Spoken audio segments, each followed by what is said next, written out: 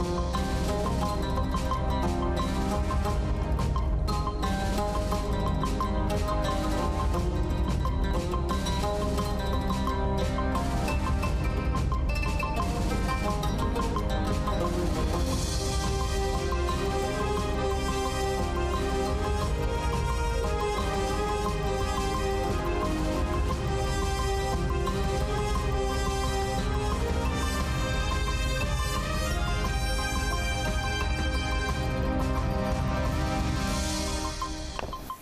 السادة المشاهدين أهلا بيكم في حلقة جديدة من 90 دقيقة. آه عايزة أقول إيه بقى؟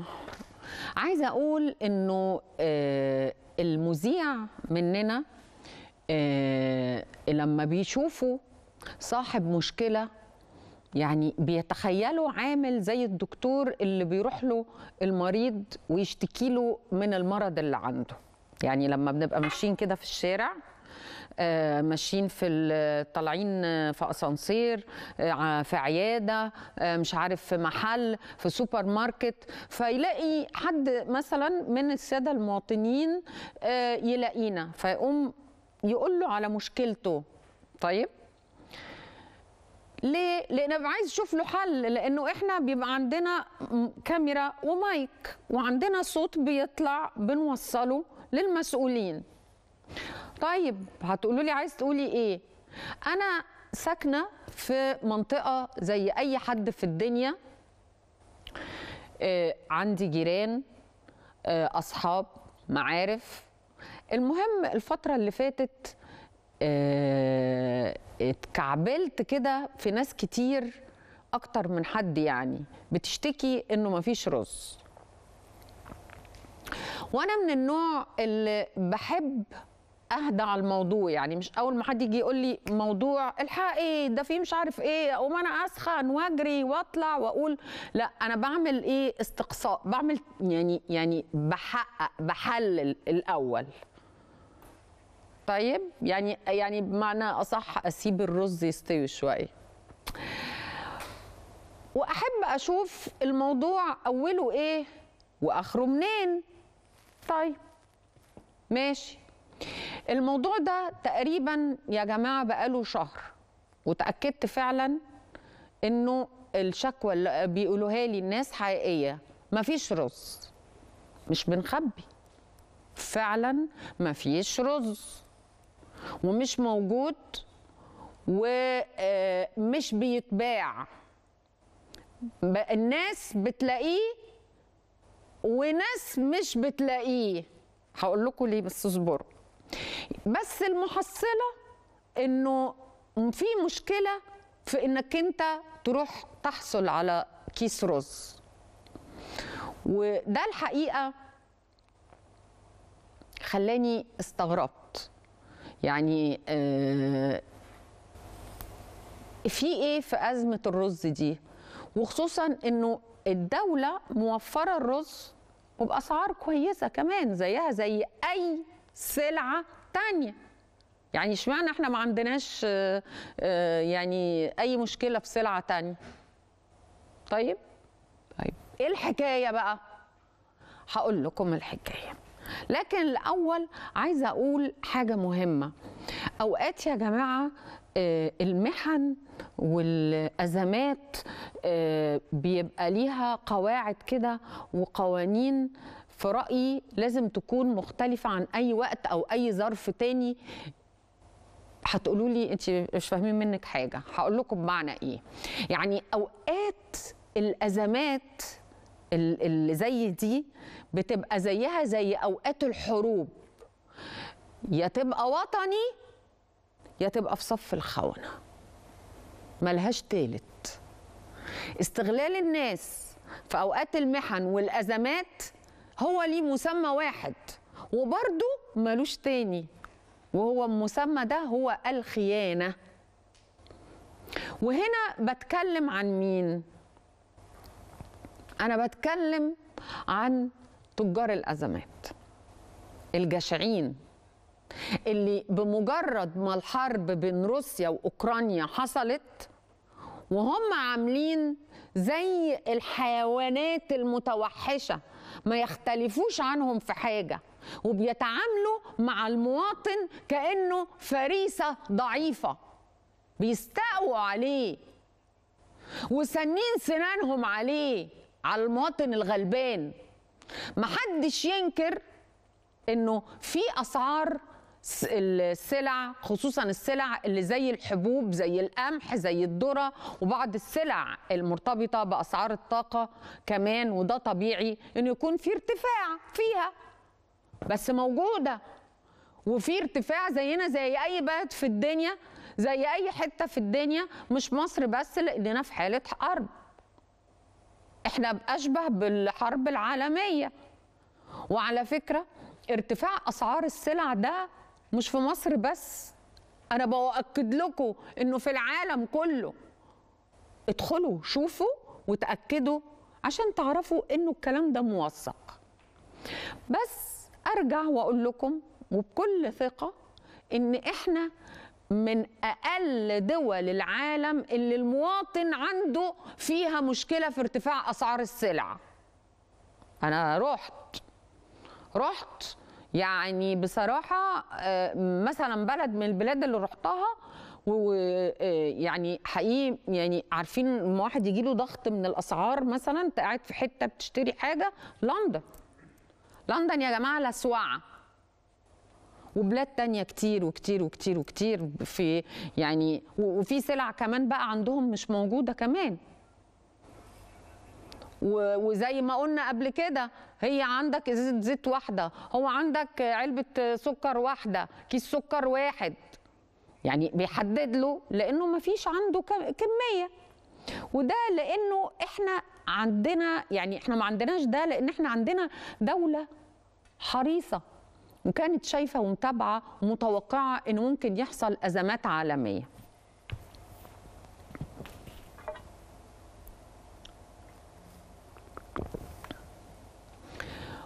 وكانت مصر مستعدة لده زي بالظبط ما كانت مستعدة لوباء كورونا قبل كده. وتصدت له وتصدت لده. إحنا دايما في الأزمات الحمد لله عندنا استباقية. سابقين بخطوة. طيب نرجع بقى لموضوعنا. ماشي؟ موضوع أزمة الرز. موضوع أزمة الرز نتيجة لوجود تجار الأزمات آه لقينا إنه الرز قليل قوي وشاحح زي ما بيقولوا في السوق. طبعا الساده المشاهدين فاهميني. الرز شاحح في السوق يا جماعة. والناس بتدور على الرز مش لاقياه. ليه؟ الرز شاحح في السوق. مش عشان مفيش رز. لا في رز. عارفين ليه؟ عشان التجار مخبياه في المخزن. التجار بتلعب لعبتها. وانت ترجع تطلعه وسط الأزمة ولما تلاقيه يعني يعني تطلعه إزاي؟ بإنك انت عايز رز وكل ما تروح يقول لك مفيش رز. مرة يقول لك فيه بس يزود لك فيه خمسة ستة جنيه. هتاخده صح؟ ويقول لك إيه بقى؟ أصل البلد فيها أزمة. أزمة إيه يا حبيبي؟ يا تاجر أنت يا جميل أنت. يا قمر أنت. يا اللي إن شاء الله تروح كلبوش ها؟ يقول مفيش إحنا ما عندناش أزمات. البلد ما فيهاش أزمات. الأزمة عند التاجر ومن التاجر اللي بيخطط. اللص. وتكتشف في حقيقة الأمر إن التجار الجشعة هي اللي عاملة الأزمة دي. النصابين اللي أكل عيشهم بقى الأزمة. أنا وكل المواطنين بنعاني من التاجر النصاب الجشع الانتهازي ده على فكرة. أنا نفسي وأكيد كل السادة المواطنين بعد ما سمعوا إنه التاجر ده الحقيقة لازم يتمسك ويتحاسب ويتحاكم. ليه بقى؟ لأنه هو مش بس بيضر المواطن لأ ده كمان بيضر الدولة كلها. والدولة بريئة منه ومن اللي بيتقال لأنه بتلصق التهمة بالدولة بإنه الدولة شو روحوا شوفوا. طبعا بقى أهل الشر بقى يمسكوا الصاجات بتاعتهم هم بتوع الصاجات دول. عارفينهم؟ أهل الشر بتوع الصاجات. تشيك تشيك تشيك. ها؟ يطلع يقول لك إيه؟ الحقوا مصر ما فيهاش رز. لا يا حبيبي مصر فيها رز. بس التاجر عندنا تاجر كده زي نفسيته جحيم زي نفسيتك يا أبو وع- وعندنا تاجر خاين زيك يا خاين أنت يا أبو صاجات. ماشي؟ التجار اللي مخبية الرز فوقه عشان هتروحوا في داهية. واصحوا إحنا مش هنسكت. وهنقول الحقيقة وهنتكلم وهنواجه التجار دول وهنواجهكم وأنا بطالب الحقيقة بتشديد العقابة ال- العقاب. لو اتشدد العقاب هيخافوا. ولازم تتشدد الرقابة الأول قبل العقاب على التجار دول تجار الأزمات. الناس طفحة الدم. كفاية. الناس هتلاقيها منين ولا منين؟ وعلى فكرة إحنا عندنا منافذ تابعة للدولة كلها سلع بأسعار مخفضة صح يا جماعة ولا أنا غلطانة؟ في كل المحافظات والميادين مش كده؟ وكل الوزارات بتعملها ووزارة الداخلية ومين تاني؟ وزارة التموين ووزارة الزراعة والقوات المسلحة على الشاشة أهي. السلع متوفرة فيها. روحوا واشتروا منها وادوا التاجر ده على قفاه.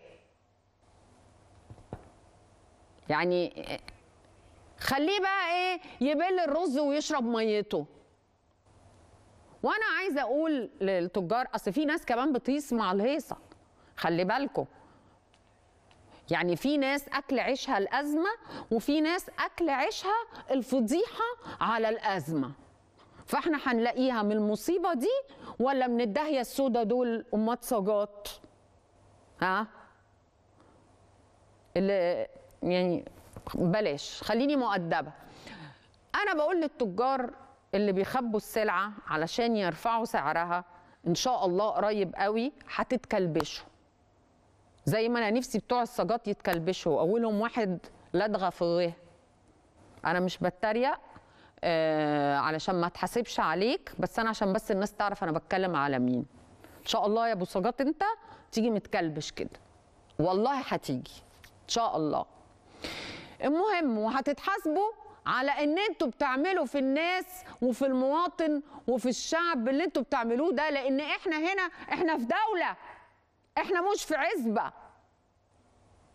وأنا آخر حاجة بطلبها النهاردة من وزارة التموين ووزير التموين إنه يشدد الرقابة. أرجوك أرجوك يا سيادة الوزير شدد الرقابة على تجار الأزمات دول. أرجوك يا سيادة الوزير وزير التموين شدد الرقابة يا دكتور علي مصلحي على تجار الأزمات دول.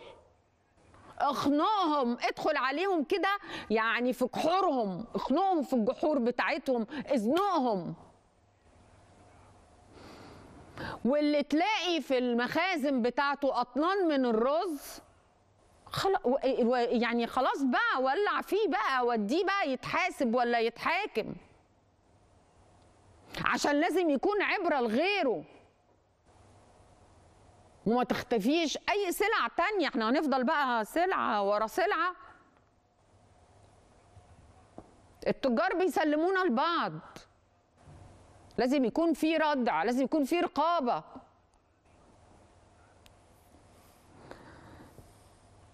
معايا على الهاتف الكاتب الصحفي الأستاذ عبد اللطيف حامد مدير تحرير مجلة المصور. أهلا بيك معانا يا أستاذ عبد اللطيف في 90 دقيقة.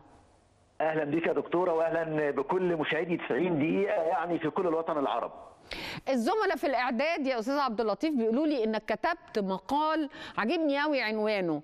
النهارده في مجلة المصور اسمه مصاصو دماء مصاصو دماء الشعب واتكلمت فيه عن تجار الأزمات اللي أنا بتكلم عنهم دلوقتي. قول لنا قلت إيه عنهم وبتشوف اللي عملوه ده إزاي وليه استخدمت كلمة مصاصو آه، دماء الشعب؟ اولا يا دكتورة اسمحي لي أقول كم نقطة. النقطة الأولى أنا بتفق مع حضرتك في كل كلمة قلتها وخاصة رغم إن أنا ما بحبش أطلقه إلا فيما ندر وهي فكرة الخيانة. التاجر اللي وصل لمرحلة إنه تاجر أزمات خصوصا في هذه الظروف هو خائن لوطنه وخائن لأهله وناسه. دي أول حاجة. وسعادتك يعني زي ما بيقولوا كده يسرت عليها المهمة. النقطة الثانية لأن ده بمناسبة آه، كلام حضرتك وهو قرار مجلس الوزراء النهارده باعتبار سلعه الرز من السلع الاستراتيجية وممنوع اخفائها أو الامتناع عن بيعها من أي حد بقى من المنتجين الموردين الموزعين البياعين. ليه يا دكتورة؟ لأن ده وقف مهزلة زي ما حضرتك قلتي. طب التاجر اللي مهزلة بيخفيه إخفاء هيتعمل معاه إيه؟ ويتظبط إزاي؟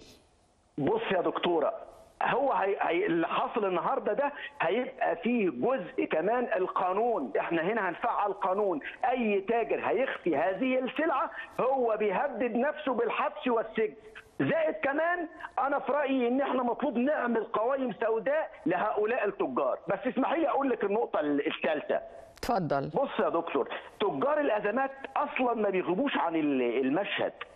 بس برضه اسمحي لي كمان أقول نقطة مهمة مش كل التجار عشان ما حدش يزايد علينا ويقول الدكتورة بقى وعبد اللطيف حامد معاها قال إحنا أكيد مش إحنا التعليم خطأ. آه، أستاذ. عبد اللطيف أكيد بقول تجار الأزمات دول يعني أكيد هم صنف أو أو كمية معينة من. التجار اسمهم تجار الأزمات وللأمانة وكل احترامي لبقية التجار المحترمين وللأمانة يا دكتور الكثير للأسف يسير على هذا النهج وهو اتخاذ الأزمات مجال للتكسب والتربح. إلا من رحم ربي عشان برضو إيه نبقى يعني ماشيين واحدة واحدة. طيب المشهد الرابع يا دكتور تجار الأزمات مش بيغيبوا عننا في المشهد بقالهم فترة طويلة. تقريبا كده زي ما تقول إيه يعني عاملين معانا حساب مفتوح.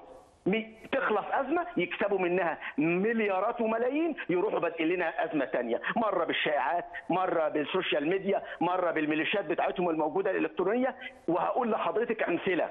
عشان السادة المشاهدين يبقوا عارفين من الكمامات وقت كورونا يا دكتور ده وظفوا يعني نقول إيه حتى الموت وظفوه إحنا أيوه كورونا فكرتني دكتورة. دي يا أستاذ عبد اللطيف كان فيها تجار كتير جدا ده تجار الموت ده إحنا عشنا. معاهم أدوية وماسكات وح... ده, ده كان. بلاوي أي. بص يا دكتور هم دول حتى تحولوا إلى تجار موت مش مصاصين دماء بس خلال أزمة كورونا. تاجروا في الكمامات الكمامة اللي ب 60 قرش و70 وبجنيه على حد أقصى وصلوها لنا ل 10 جنيه وأكثر من 10 جنيه. الأدوية يا دكتور غالوا علينا وكانوا بيقولوا مش موجودة رغم إن الأدوية موجودة والدولة كانت موفرة كل حاجة وأنت حضرتك قلت إن إحنا اتعاملنا مظبوط واحترافية كدولة مع أزمة كورونا ودي حقيقي مش مجاملة للدولة. مرورا بقى بأزمة الدقيق والفراخ والسكر وصولا للرز. طيب هم الناس دول ماشيين ورا مين يا دكتورة؟ ماشيين ورا أستاذهم الكبير ميكافيلي الكاتب والدبلوماسي الإيطالي. صاحب النظرية اللي حضرتك عارفاها اللي هو بيقول فيها ملخصها الغاية تبرر الوسيلة. ولا يجدي أن يكون المرء شريفا دائما. هو فين ألو... إن- هو فين الغاية هنا اللي تبرر الوسيلة هنا؟ عاوزين يكسبوا يا دكتور. هو عايز يكسب ويحقق مكاسب يكسب يوم. يمص دم الناس وينصب؟ آه طبعا. ما هو الله. طب ما هو لو واحد جعان يعني لو واحد جعان في الشارع يقتل واحد علشان يسرقه وأقول الغايه تبرر الوسيلة؟ ده يا دكتور ميكافيلي بيقول لهم أهو لا يجدي أن. أن يكون المرء شريفا دائما. مش لازم تبقى شريف. خليك حرامي شوية عشان مكاسب. هم فعلا يعملوا بالنظرية دي. طيب أروح لسعادتك بقى الجزء الخاص بالرز عشان ما نخش السادة المشاهدين. أنا رأيي طب إيه اللي يعني حصل أصلا في الرز ده؟ ليه ليه اختفى؟ اشمعنى واشمعنى الرز؟ عشان كل الناس بتاكل رز؟ بص يا دكتورة دول يستحقوا المحاكمة بتهمة الغباء. ما أعرفش بقى الغباء التجاري ولا إيه. مع سبق عليها والترصد. طب ليه يا دكتورة ما يستحقوا المحاكمة بتهمة الغباء التجاري؟ ليه بقى؟ لاكثر من سبب. اولا الرز في مصر إحنا من أعلى الدول إنتاجية ونكاد يكون عندنا اكتفاء ذاتي. حاجة. موفراه في كل المنافذ. ما هو أنت عندك اكتفاء ذاتي والدولة طرحها في كل الأسواق في منافذ الجيش ومنافذ الشرطة ومنافذ التموين ومنافذ الزراعة زائد مختلف الأسواق من أسوان لإسكندرية. طيب إيه إيه اللي حصل؟ طب أنتوا بتقولوا إن الرز اختفى، يعني هم المصريين ابتلعوا كل هذه الكميات وعشرات الألاف من الأطنان في في بضعة في أقل من شهر تقريبا، ليه يا دكتورة بقول هم؟ اللي بيخلقوا الأزمة. أيوه إحنا في أول الموسم يا دكتور. اولا عندنا شبه اكتفاء ذاتي أو مش هقول لك اكتفاء ذاتي كامل. وفي نفس الوقت إحنا دلوقتي في أول الموسم الرز راح فين؟ أنتوا هتضحكوا علينا؟ ده أنتوا أغبياء. يعني ال... وعشان كده أنا بحيي قرار النهارده. دي لعبة مفقوسة. إزاي السكر ال- الرز راح فين؟ المصريين ابتلعوها ولا الأرض اتشقت وبلعت الكميات الكبيرة والضخمة دي؟ بصراحة هم زي ما بيقولوا كده دول أعمياء القلوب حتى مش أعمياء الأنظار. لأن هم يعني لبسوا نفسهم في حاجة اي حد ممكن يبقى عارف ان ده غباء انت إزاي أصلا في اول الموسم وفي دولة بتنتج رز تقريبا على اكتفاء ذاتي تقول الرز طيب اختفى. أستاذ عبد اللطيف أنا عايزة أسألك سؤال اتفضل أنا عايزة رز أروح فين؟ أنهي منفذ دلوقتي؟ بص يا دكتورة الرز كان موجود من 12 ل 15 جنيه والدولة سمحت لهم بده لكن هم علشان جشعهم وعلى فكرة المؤامرة دي اشترك فيها حيتان الرز في وهم موجودين لهم أماكنهم والدولة عارفاهم إيه، بالإضافة إلى تجار الجملة ده مصطلح مهم ده حيتان الرز في مصر أيوة. ومؤامرة تحت مسمى لا. المؤامرة ده لفظ معروف وحيتان الرز معروفون وفي محافظات معينة ومحددة بالاسم وعلى فكرة هم صناع هذه الأزمة ولابد أن يحاكموا ولابد أن تهاجم الجهات المختصة. أهو بلغة القانون أهو إن تهاجم هذه المخازن ويصلوا ليها لأن هم اللي صنعوا الأزمة دي. ما عندناش أزمة رز إحنا عندنا حاجتنا وزيادة من الرز. وهم اللي بيدعموا شائعة إنه مفيش رز. ما هم بيستخدموا ميليشيات يا دكتورة بيكتبوا على ال social media ويقولوا لنا الرز اختفى. ما هو الرز مرة واحدة طلع. انت عارفة لولا قرار الحكومة النهارده باعتباره سلعه استراتيجية كان وصل ل 30 و40 جنيه. فاكر حضرتك السكر من كام سنة؟ في 13 و14 يعني يعني من 12 جنيه يا مؤمنين ل 30 و40 جنيه. أيوه هم كانوا عاوزين ده. هو اقترب من ينفع 20 كده. ينفع كده الناس دي لصوص بتدخل إزاي؟ ما هم لصوص يا جماعة ما أقدرش أقول لهم فين ضميركم وفين قلبكم وفين دينكم وفين ما دول ما يتقلهمش حاجة. دول لازم؟ يتجابوا ولازم ان هم يتقبض عليهم. لازم يبقى في حملات تفتيش ولازم بعيدها تاني وبأطلق النهارده نداء لوزير التموين دكتور علي مصلحي إنك لازم تشدد على هؤلاء التجار. وأنا عارفة إنك ما بتتأخرش يا دكتور علي. أنا متأكدة إنك ما بتتاخرش بس إحنا عايزين حل فوري علشان الناس دي ما تتمداش لو سمحت عشان سيادة الوزير يبقى عارف السلاسل الكبيرة. وأنا عندي أسماء سلاسل معينة. عملت حركة في الرز مؤخرا كانوا بيحطوا 8 كيلو ويحطوا معاهم سلع المواطن مش عايزها وهذه السلسلة في فيصل يحطوا 8 كيلو رز مع سلع المواطن مش محتاجها ويجبروه يشتروها وكان بيبيعوا الكرتونة ب 220 جنيه. ففي مواطن مش قادر يجيب رز ب 15 جنيه تجبره ليه يدفع 220 جنيه؟ شفت قدامي أنا سيدات والله يا دكتور طلبوا إن هم يشتروا الرز يقول تقول له في رز يقول لك فيه خش اشتري الكرتونة.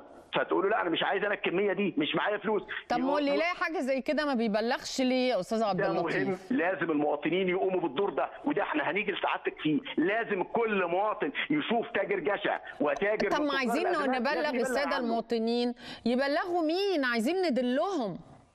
نوعيهم. مطلوب للمواطنين دور ومطلوب من كل الأطراف مش من الدولة بس الدولة عندها منافذ موجودة في أكثر من مكان وإحنا قلناها وحضرتك قلتيها في المقدمة التموين والزراعة والقوات المسلحة ومنافذ أمان. وعلى فكرة أسعارها كويسة. حد يا جماعة من وزارة التموين؟ يقول لنا البل- البلاغات إزاي؟ الناس تبلغ إزاي؟ أو حد من حماية المستهلك؟ شوفوا لنا حد. أنا بشكرك جدا أستاذ عبد اللطيف حامد مدير تحرير مجلة المصور على كل التوضيحات دي بخصوص آه، من يتاجرون بالأزمات. وأنا ما زلت اطلب اطلبوا لي طيب آه، أنا يا جماعة ما زلت بقول انه تجار الأزمات دول يعني آه، محتاجين إيه أقول لكم يد من حديد. آه لو ما اتقبضش عليهم النهارده بكره هيبقى عندنا أزمة في في السكر هيبقى عندنا أزمة في حاجة وفي حاجات مهمة. ليه بقى؟ عشان يعطش الشعب المواطن وعشان يتلاعب بيه. لأنه الناس ما تقدرش تعيش من غير الرز. إحنا شعب شعب بيحب الرز بناكل الرز. ممكن آه، يأثر له في حاجة تانية وبعد كده يبتدي ينزلها زي ما بيحصل آه، بأسعار أغلى. معايا على الهاتف الدكتور أيمن حسام رئيس جهاز حماية المستهلك. برحب بيك يا فندم في 90 دقيقة. أهلا بحضرتك أستاذة بسمة. تحياتي ليكي ولكل مشاهدينك المحترمين. كل الناس يا فندم بتسأل هو إيه اللي بيحصل في الأسواق وليه في سلع بتختفي؟ وإيه دور أيوة. جهاز حماية المستهلك في حماية الناس من جشع هؤلاء التجار؟ نعمل إيه في الناس دي؟ وأكيد حضرتك على دراية بموضوع تجار الأزمات دول اللي عاملينه وخصوصا في موضوع الرز. طيب خليني أدخل في الموضوع بشكل مباشر. اتفضل. آه، بس همهد لمدة 30 40 ثانية عن موقف سلعة الرز في مصر. أول حاجة كل مشاهدينك آه، لازم يطمئنوا إحنا عندنا احتياطي من الرز البلدي المصري التمويني يتجاوز خمس شهور ده رقم واحد. فالدولة عاملة احتياطي استراتيجي وسط الرز التمويني بيباع بالأسعار المعلنة من وزارة التموين. دي أول جزء من التمهيد. الجزء الثاني فيما يخص سلعة الأرز إحنا عندنا اكتفاء ذاتي منها وزرعنا السنة دي ما يتجاوز واحد ونص مليون فدان أرز وإنتاجهم حوالي خمسة وستة من عشرة أو ستة مليون طن شعير اللي هو يدينا أكتر من احتياجاتنا من الرز الأبيض بكتير. طب إيه الأزمة؟ وهنا سؤال حضرتك الأزمة ظهرت من إيه؟ أيوة. الأزمة ظهرت مما يسمى مضاربات أشباه التجار، يعني إيه مضاربات أشباه التجار؟ يعني إحنا عندنا تاجر، عندنا مضرب، عندنا مزارع دول كلهم حلقات التداول المعروفة في زراعة الأرز. نتيجة الأزمة العالمية، نتيجة ارتفاع الأسعار بدأ يظهر عندنا شريحة اسمهم أشباه تجار. ناس لأول مرة بيتعاطوا مع هذه السلعة وبدأوا يشتروا كميات ويخزنوها في أماكن غير معتمدة وغير مرخصة. يعني يعني دول أصلا مش تجار رز معروفين؟ لا طبعا. أمال. المواطن بيروح يشتري من عندهم إزاي؟ لا يا فندم دول مش بيشتري منهم مواطنين دول بيبيعوا الرز الشعير مش آه. الرز الأبيض. إحنا بنتكلم عن الرز الشعير اللي بيتم ضربه وتحويله إلى رز أبيض. آه. فبدا الجماعة اللي إحنا المحترمين أشباه التجار. أشباه التجار يخزنوا هم بكميات قليلة لكن أعدادهم ضخمة جدا. وبدأت تحصل مضاربات على سعر الأرز الشعير من المضارب الأرز عشان تبتدي تشتغل فبدأت الأسعار ترتفع بشكل غير منظور لغاية ما وصلنا لوجود هذه الأزمة. طيب نبتدي نقول لحضرتك الجزء الثاني من سؤال اللي بيقول إيه الإجراءات اللي خدتها الدولة وجهاز حماية المستهلك لمواجهة هذا النوع من المضاربات الغير مشروعة. النهارده يمكن إحنا اول امبارح جهاز حماية المستهلك عرض على معالي وزير التموين بتفعيل المادة رقم 8 آه، من قانون حماية المستهلك والمادة دي لم تفعل من قبل. المادة دي بتدي بتقول إيه المادة 8 دي يا دكتور أيمن؟ المادة 8 دي إن هي إن إحنا بيطلع قرار من دولة رئيس مجلس الوزراء شخصيا آه. باعتبار سلعة معينة سلعة استراتيجية وحجبها أو منعها عن التداول أو منعها من البيع جريمة يعاقب عليها بالحبس مدة لا تقل عن سنة. لا تقل عن سنة بالإضافة لغرامة وده اللي طلعه 2 رئيس. الوزراء النهارده. تصل ل 2 مليون جنيه. وبالفعل استجاب سياد- سيادته للقرار نتيجة الأزمة ونتيجة ما الممارسات الغير مشروعة وصدر القرار ومدين مهلة للناس تسجل بياناتها مهلة ثلاث أيام. أي حد وارجوكي إن أنا تاكدي بعد ما أقفل مع حضرتك على الرسالة دي. أي حد أي حد عنده رز شعير لأي غرض سواء استخدام شخصي تجاري بيع تخزين يروح يبلغ مكتب التموين اللي تابع ليه. أيوه عايزين نعرف بقى البلاغ إزاي. تاني بقى يا دكتور أيمن. اتفضل يروح- قول. يروح يتقدم لمكتب التموين أو الإدارة التموينية اللي تابع ليها ويبلغ عن الكميات اللي عنده والغرض منها. ايا كان الغرض منها غرض شخصي غرض تجاري يبلغ بالكمية لازم. يسجل عشان لو اتقبض عليه هيحصل إيه؟ عشان لو آه، اتقبض عليه من غير ما يكون معاه آه، ال- الخطاب اللي معتمد من وزارة التموين بالكميات اللي عنده والغرض منها هيتم على طول القبض عليه وتطبيق العقوبة اللي هي سجن لا يقل عن سنة وغرامة لا تصل إلى 2 مليون جنيه. يعني أي تاجر عنده كميات من رز الشعير يروح يبلغ مكتب التموين. مش بس تاجر. عشان لو هم اللي مش جولوا بس تاجر. آه. ال- اللي أشباه التجار. كل الأجهزة الرقابية هتشتغل مورد، موزع. من ثلاث أيام. أي حد مخزن رز شعير في أي حتة. هنلاقيه هيتم تطبيق القانون عليه والقانون استثنائي. وأتمنى إن إحنا ما نلجأش لده. طب إيه دكتور أيمن أصحاب المطاعم زي مثلا بتوع الكشري ما بيستخدموا طول الوقت هو الأكلة بتاعته كلها رز.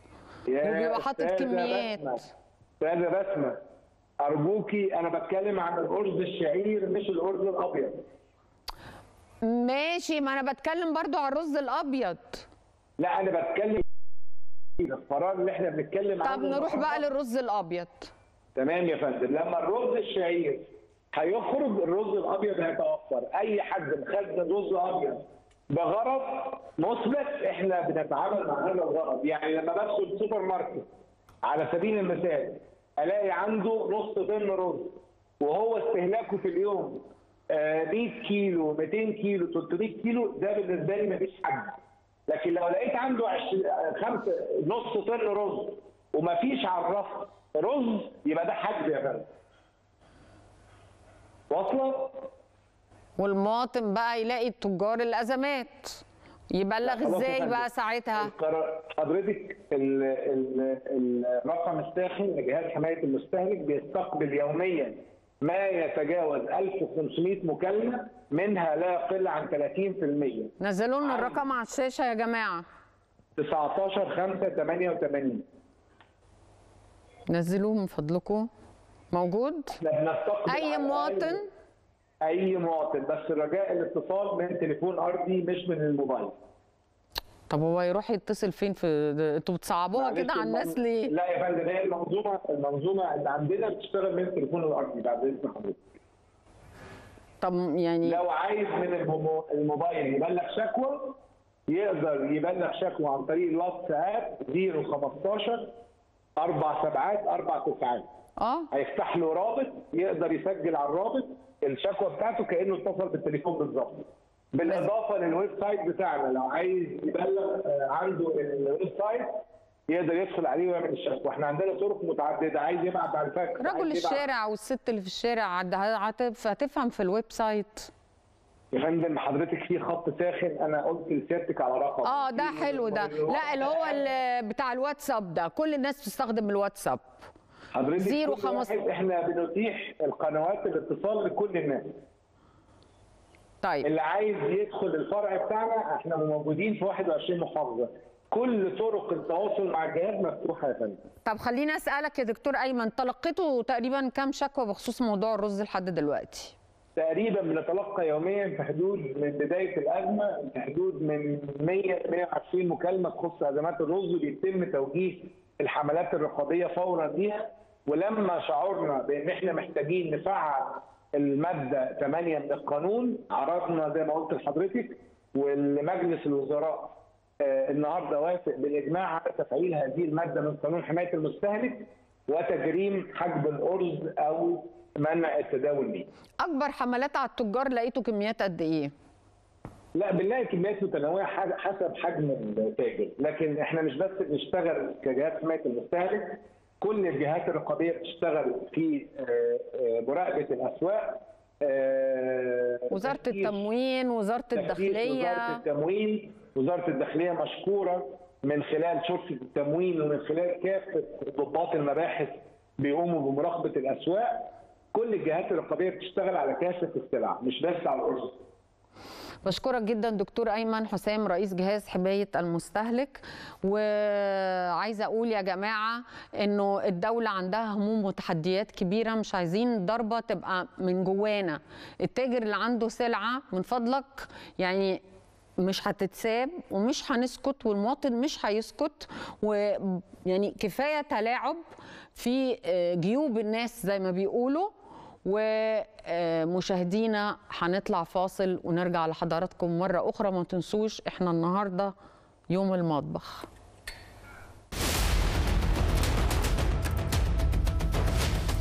تتوالى الضربات الأمنية الحاسمة التي توجهها أجهزة وزارة الداخلية في إطار تصديها لجرائم جلب وتهريب المواد المخدرة للوقاية من أخطارها وتأثيراتها السلبية على المجتمع والشباب. في هذا الإطار رصدت الإدارة العامة لمكافحة المخدرات بالتنسيق مع قطاعي الأمن الوطني والأمن العام ومديرية أمن الجيزة. وباستخدام التقنيات الفنية الحديثة. نشاط عناصر تشكيل عصابي تخصصوا في جلب مخدر الآيس الخام. متخذين من نطاق قسم شرطة بولاق الدقرور بالجيزة مسرحا لمزاولة نشاطهم الإجرامي. يحمل عناصر التشكيل جنسية إحدى الدول. عقب تقنين الإجراءات تم استهدافهم وضبطهم بمحل إقامتهم. وبحوزتهم 200 كيلوغرام من مخدر الآيس وعملات أجنبية ومحلية.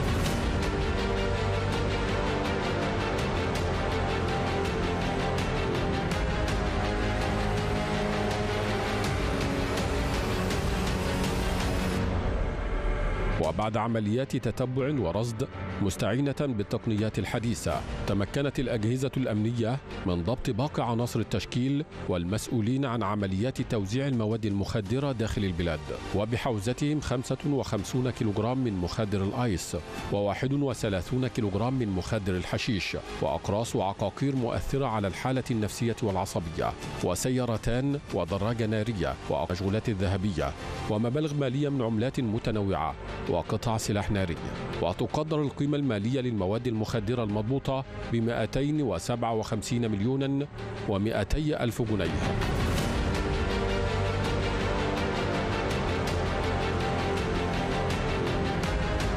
واستكمالا لتلك الضربات التي تهدف لإجهاض محاولات الجلب والتهريب تمكنت الإدارة بالتنسيق مع قطاعي الأمن الوطني والأمن العام ومديرية أمن الإسماعيلية من إحباط محاولة أحد العناصر الإجرامية نقل وتهريب كمية كبيرة من المواد المخدرة بنطاق مركز شرطة القنطرة شرق لترويجها على عملائه بنطاق محافظات الجمهورية.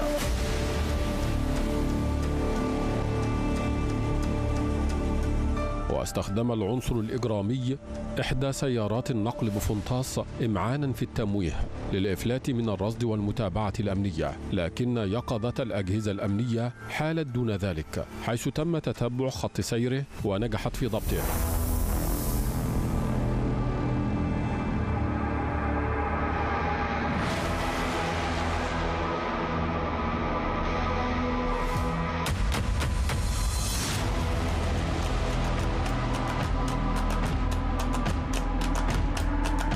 الأجهزة الأمنية. استخدمت التقنيات الحديثة حتى تمكنت من إحباط هذه المحاولة. رغم كافة الاحتياطات التي اتخذها عناصر التشكيل للإفلات من الرصد الأمني.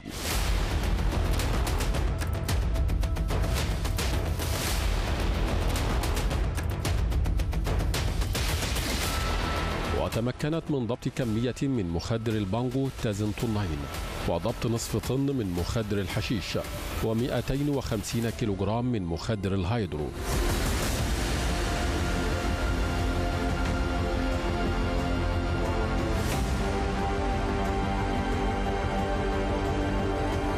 وتقدر القيمة المالية للمواد المخدرة المضبوطة ب 43 مليون و250 ألف جنيه.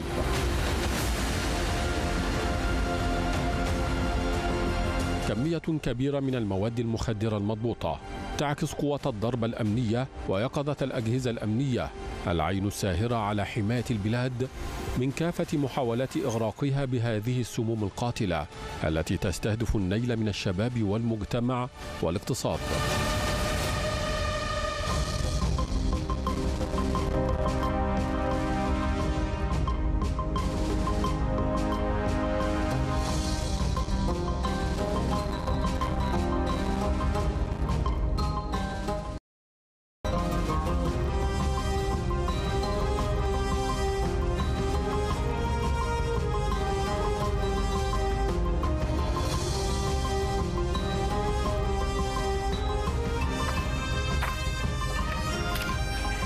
مشاهدينا آه، نبدأ أخبارنا من اجتماع عقده الرئيس عبد الفتاح السيسي لمتابعة نشاط صندوق تكريم الشهداء. وصرح السفير بسام راضي المتحدث الرسمي باسم رئاسة الجمهورية بأن الرئيس السيسي وجه بحصر دقيق لكل شهداء مصر في الحروب السابقة بداية من عام 1948 لدراسة ل- لدراسة ضمهم إلى قوائم المستفيدين من مزايا وخدمات الصندوق. تقديرا من الوطن لابنائه المخلصين وترسيخا لقيم الوفاء لأسرهم. كما وجه الرئيس السيسي بصرف حافز مادي استثنائي لصالح الأسر والأفراد المستفيدة من الصندوق وذلك بمناسبة بدء العام الدراسي الجديد وتعزيز الخدمات المقدمة من الصندوق لتشمل المزيد من المجالات الإضافية كالتعليم والصحة والرعاية الاجتماعية وغيرها.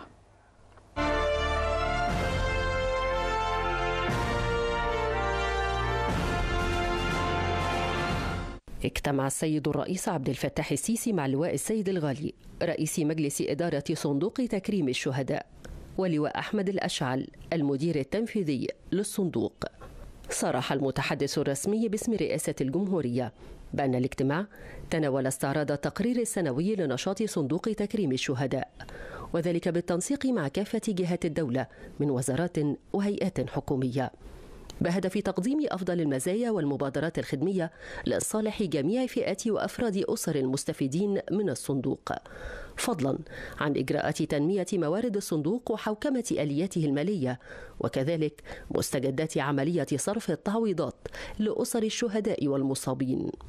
وقد وجه السيد الرئيس بقيام الصندوق بحصر دقيق لكل شهداء مصر في الحروب السابقة بداية من عام 1948 لدراسة ضمهم إلى قوائم المستفيدين من مزايا وخدمات الصندوق وذلك تقديرا من الوطن لأبنائه المخلصين وترسيخا لقيم الوفاء لأسرهم.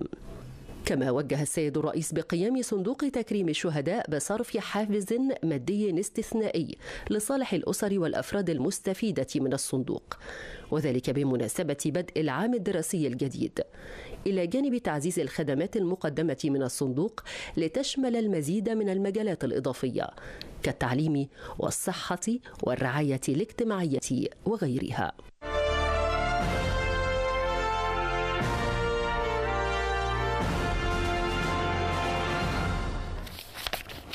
مشاهدينا أنا الحقيقة سعيدة جدا النهارده لأنه امبارح كنا اتكلمنا وضربنا جرس انذار للدمار آه، لل آه، آه، اللي بيحصل دلوقتي في المجتمع حكاية ال trend وال social media والشباب والبنات والأزواج والزوجات اللي بقى عندهم استعداد إن هم يعني يعملوا أي حاجة عشان يركبوا الترند. والبيوت اللي اتفتحت اوض نومها على الملأ وبقت live 24 ساعة وكل ده عشان الدولارات. وقلنا إن مواجهة كل ده هو قضيتنا هنا في 90 دقيقة ومش هنسيبها. وهنفضل وراها لأنه ده بيسيء لبلدنا. ده بيسيء لبلدنا. ما ينفعش لما لما حد يفتح السوشيال ميديا ويلاقي المسخرة دي يقولوا إن دي مصر. لا دي مش مصر. دي مش مصر. لازم يكون في وقفة. وأنا امبارح نشدت مجلس النواب انه لازم يكون ليه وقفة. هو ده ده شغله ده عمله. لازم يكون في تشريعات جديدة لتغليظ عقوبة هؤلاء ومواجهتهم. وقلت إن أنا واثقة انه مجلس النواب والحكومة وكل الجهات المسؤولة مش هتتأخر عن حماية المجتمع المصري من الظواهر المنتشرة على السوشيال ميديا ومن كل اللي بيحاول يدمر الأخلاق والقيم والعادات والتقاليد في المجتمع. والحقيقة أنا سعيدة ليه بقى؟ لأنه بالفعل كان عندنا وحصل استجابة ورد فعل سريع وأسرع مما كنت أتخيل، توقعت مثلا على الأسبوع اللي جاي. فحصل الحقيقة استجابة سريعة من مجلس النواب واستجابة لمناشدتنا في 90 دقيقة وأنا معايا على الهاتف النائب أحمد بدوي رئيس لجنة الاتصالات بمجلس النواب، برحب بحضرتك يا سيادة النائب وأهلا بيك معانا في 90 دقيقة. مساء الخير يا أستاذ بسمة ازي حضرتك؟ اسمحي لي بس على الهواء مباشرة.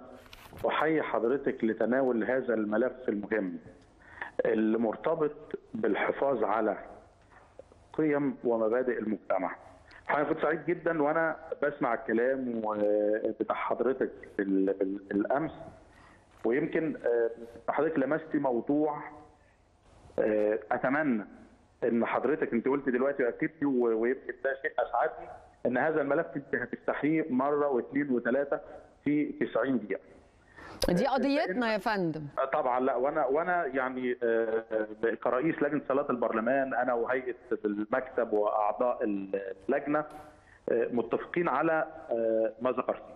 ويمكن بس أنا بطمن حضرتك إحنا كلجنة الاتصالات وتكنولوجيا المعلومات بنتواكب مع التطور التكنولوجي الهائل ونتحدث عن الثوره التكنولوجيه الموجوده في العالم بس إحنا النهارده بنتحدث عن الترندات للأسف الشديد ويمكن انت وصفتي قلتي الصور الشاذة اللي عشان يعملوا مشاهدات وكل وكله بيقلد بعضه للأسف الشديد. ده اللي بيحصل بيحصل يا سيادة النائب وإحنا بنرصد الواقع اللي حاصل. إحنا راصدين ده. عشان كده أنا بطمن حضرتك ان هناك العديد من التعديلات. أنا بس عاوز اكد نقطة مهمة جدا. إحنا يمكن لجنة الاتصالات وتكنولوجيا المعلومات لجنه يمكن مختلفة شوية عن اللجان النوعية الأخرى لأن إحنا المفروض القوانين والتشريعات الخاصة بقطاع الاتصالات بيتم النظر عليها مش ببالغ عندما أذكر لحضرتك كل ثلاث شهور أو ست شهور على الأقل. ليه؟ لأن أنت كل يوم في جديد. وأنا آسف بقول هذا الكلام هناك سلبيات كثيرة والبعض مش بقول كل المجتمع. البعض من المجتمع يستخدم السلبيات في ال social media أكثر من الإيجابيات. إحنا بنقلد بعض أو أو الشباب للاسف بيقلدوا بعض في الغلط. بيقلدوا البعض في موضوعات تتنافى مع قيم واخلاق المجتمع. ويمكن قلت كلمة امبارح إيه اوض النوم اللي مفتوحه دي؟ طبعا ده إحنا بنرصد من خلال الباحثين بتوعنا في اللجنة في اللجنة ومتابعين ده وإحنا بناكدوا الكلام اللي حضرتك قلتيه امبارح. أيضا طب معلش يا سياده النائب إزاي مجلس النواب هيواجه موجة الإسفاف والترند وتدمير الأخلاق من خلال بعض منصات ال social media اللي بتحصل دي؟ طيب هطمن سيادتك إحنا في موضوعين إحنا بنضعهم في مقدمة اهتماماتنا الأول في هناك جزء من التعديلات يخص الابتزاز الإلكتروني وجزء من التعديلات هيتعمل إن شاء الله في قانون وهيقدم.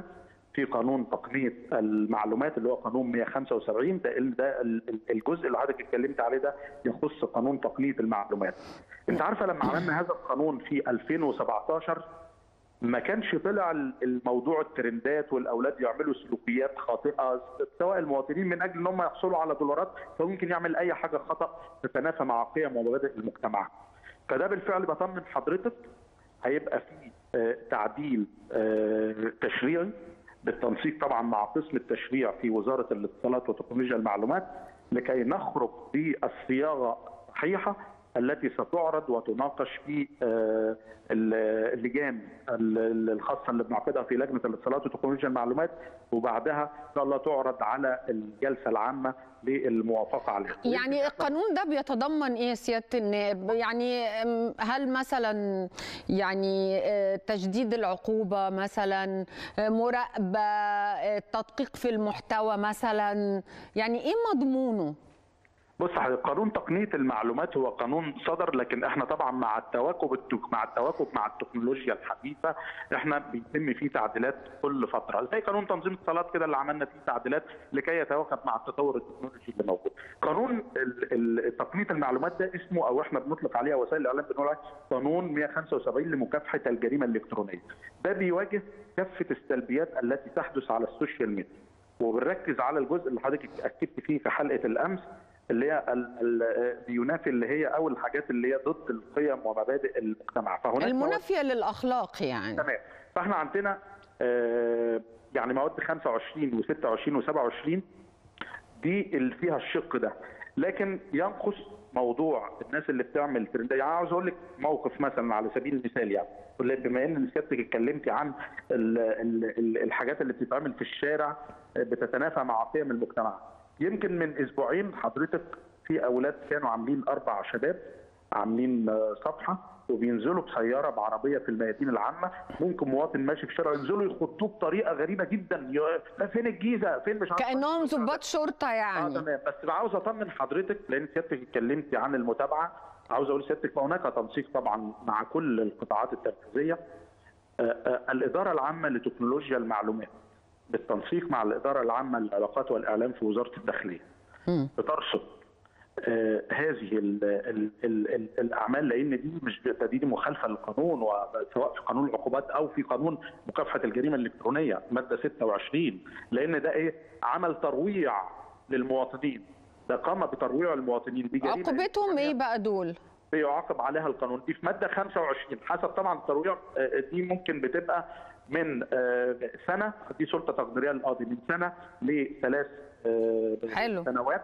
حلو. طبعا إذا تعرض بقى المواطن الخطر الردع مطلوب. آه آه دي سلطة تقديرية لل... لل... للقاضي. وعلى فكرة أنا بطمن سيادتك أيضا وبنتهز إن أنا في البرنامج مع حضرتك في قضايا الابتزاز الإلكتروني آه، آه، في مواد 25 و26 و27 اللي هو بقى أشير بعد ما أخد الصور بتاعت الفتاه وأربطها مثلا بمحتوى منافي للاداب وأبدأ أبتزها بهذه الصور بعد ما عملت هاكرز على صفحتها. وإذا شيرت الصور دي شيرتها خلاص ده اتفضحت على الملأ قضايا الابتزاز. آه بتصل العقوبة للمؤبد يستحقوا يستاهلوا. ده ده, التعديل ده في ناس. انتحرت بسبب ناس ابتزتها بعد الواقعة دي الحقيقة آه، يعني آه، عملنا تعديلات في آه، هذا القانون مواد 25 26 و27 حتى وصلت الحقوق العقوبة النهاردة إلى المؤبد فأنا بطمن حضرتك في هناك تعديلات في الشق اللي سيادتك اتكلمت عليه خاصة مع زي ما قلت الترندات اللي بتتنافى مع قيم ومبادئ ال- المجتمع وإن شاء الله بإذن الله طالما سيادتك متولية هذا الملف هنتابع حتى يكون الرؤية واضحة أمام المشاهدين. أنا الحقيقة سيادة النائب سعيدة جدا بالتعاون ما بيننا وما بين مجلس النواب والحكومة وكل الجهات ولأن دي الحقيقة قضية مجتمعية ومهمة صحيح. جدا صحيح. بس أنا عندي سؤال بقى مهم هل. آه نقدر نعمل ما ينفعش زي بعض الدول إنه بعض المنصات آه، إن إحنا نمنعها منها ت- تعمل في مصر يعني وأنا هنا تحديدا بتكلم عن التيك توك مثلا يعني تمام. هل نقدر نمنعه؟ هل في تشريع ممكن يطلع من مجلس النواب إنه يمنع التيك توك؟ بص هذا التشريع بيتم بالتنسيق هو لجنة يعني يعني هو بالعافية داخل بلدي إزاي؟ يعني أنا أنا عايزه أفهم دي مش قادرة أفهمها. طيب بطمن سيادتك إحنا بس كبرلمان وبالتنسيق مع الحكومة إحنا مع التطور التكنولوجي وبنتماشى مع آه، ولكن طبعا اللي هو آه، هيضر بلدي أو هيضر الأولاد والشباب إحنا طبعا بننسق مع الجهاز القومي لتنظيم الصلاة. والمحتوى السيء آه، يعني بطمن حضرتك إن الجهاز القومي لتنظيم الصلاة بالتنسيق لأن المحتوى ده شق يخص الهيئة الوطنية طبعا لتنظيم ال- ال- الإعلام ده المحتوى. إذا آه، كان هناك تقرير أن هذا المحتوى مخالف للضوابط والمعايير فالجهاز اللي بقول لسيادتك هو بالتفاصيل يعني فالجهاز القومي لتنظيم الصلاة بياخد إجراء ضد هذا ال- ال- المحتوى. وأنا بطمن سيادتك وفي أخبار كويسة إن شاء الله بس هعلنها في وقت لاحق بنطمن حضرتك منها الحفاظ على بيانات المواطنين مواجهة ما ما يضر ال- المجتمع خلال المرحلة المقبلة إن شاء الله. وهتعلنها عندنا برضو في 90 دقيقة سيادة النائب. إن شاء الله. هناك حزمة تشريعات لأن حضرتك أنا أنا قلت أنت يعني جبت المعلومات لأن إحنا فعلا هنشتغل في هذا الملف يمكن إحنا لسه هنشتغل فيه يمكن الأسبوع اللي جاي إن شاء الله بإذن الله. إن شاء الله بإذن الله. آه، العالم يعني رايح لموضوع العالم ال- الافتراضي والميتافيرس. آه، إزاي نقدر إن إحنا نسبق بخطوة؟ يعني ليه ما نعملش زي الصين مثلا ويكون عندنا منصة تواصل اجتماعي مصرية؟ طيب هذا هذا الموضوع يمكن آه، تم طرحه منذ فترة. والحقيقة تم ال ال يعني خطوة حلوة. قبل ما أعرف اتقال إيه آه، خطوة حلوة. ال- المناقشة الم... تمت المناقشة فقط. لكن طبعا الحقيقة إحنا كان عندنا مشاريع قوانين كثيره جدا. أنت عارف إحنا إحنا بنتواكب مع التطور التكنولوجي الهائل والتحول الرقمي وإنترنت الأشياء. فإحنا طبعا عندنا مشاريع قوانين كثيره جدا بنتواكب ف- فطرح هذا الموضوع مرة آه، بأخرى أعتقد هيتم طرحه خلال آه، يمكن المرحلة ال- ال- المقبلة لكن طبعا ما فيش إجراء فيه لأن طبعا أنت عارفة ده موضوع تقني بحت موضوع تقني بحت هيتم طبعا التنسيق فيه مع أجهزة وزارة الاتصالات وتكنولوجيا المعلومات. أنا عارفة يا فندم إنه حلم بس أنتوا إن شاء الله قادرين على تحقيقه أنا بشكر مجلس النواب الحقيقة على سرعة الاستجابة وأنا واثقة إنه البرلمان ومن القلب منه حزب مستقبل وطن هيواجهوا ظاهرة الترند وكل اللي بيحاولوا يشوهوا صورة المجتمع المصري على السوشيال ميديا. أنا بشكرك جدا سيادة النائب أحمد بدوي رئيس لجنة الاتصالات بمجلس النواب على الاستجابة السريعة ورد الفعل السريع من البرلمان المصري. وهنتابع مع سيادتك دايما كل الخطوات في الفترة اللي جاية عشان يعني يكون آه، ردع حقيقي لكل اللي بيحصل على السوشيال ميديا. مشاهدينا هنطلع فاصل وبعد الفاصل هقابلكم في المطبخ.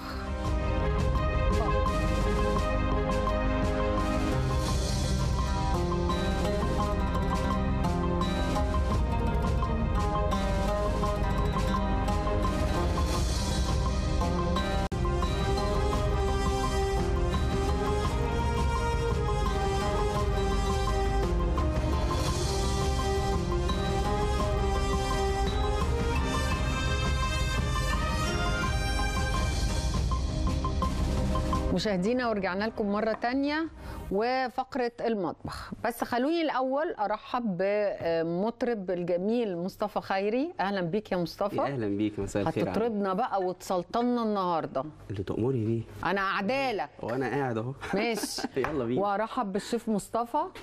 برضو أعدالك. ماشي يا دكتور. النهارده لا هحط الفوطة ولا هقوم أساعدك ولا هعمل. حاجة. واحد مش انت بتنفسن مني. خليك بقى اطبخ لوحدك النهارده. ربنا يستر بقى. بس أنا النهارده بقى قررت اقعد كده واشوفك وانت بتعمل الاكل واتسلطن من الطرب واتكلم في الموضوع المهم الحلو اللي إحنا عايزين نتكلم فيه ده.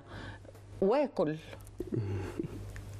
أنا بقى قررت الأول عايزه أقول لكم مع الشيف مصطفى قلت له إحنا عايزين نعمل حاجة النهارده تكون آه، يعني اكل فيه فايده للاطفال. يعني يكونوا مثلا آه، بيحبوه ما بيحبوش. هتاكلوه؟ يعني هتاكلوه. سامعين الأطفال الصغيرة؟ ها؟ هتاكلوه؟ يعني هتاكلوه. سبانخ فيها كلها فايدة. هتاكلوها يعني هتاكلوها. واللي واللي مش هياكل مامته وباباه يكلموني عشان هحطه في أوضة الفيران. أنا بقول لكم أهو. وهنعمل مع السبانخ رز أبيض. وهنعمل فراخ محشية. أظن دي بقى برضو الولاد كلها بتحبها. فراخ محشية كلها حاجات آه، فوايد آه، خضار. ودي حاجة حلوة ممكن إنه أنت بت... يا ابني في إيه؟ اصبر. آه، دي كلها حاجات كلنا ان إحنا بنحبها. يعني الفراخ المحشية اللي بتبقى جواها خضار وكده دي محدش يعني ما فيهاش آه، كلها فوائد قول لنا حاطط إيه في الفراخ؟ حاطين قول قول ده أنا مش. طايقاك النهارده. قول. بسلة وجزر وفلفل ألوان وبصل. مم، بصل آه عشان آه. طعم حلو. مم. وفي الأرضية برضو هنديها سبانخ طب انت الصلصة دي بقى عشان إيه؟ عشان السبانخ. انت هتعمل السبانخ بصلصة؟ آه. ليه؟ شوية صغيرين ها؟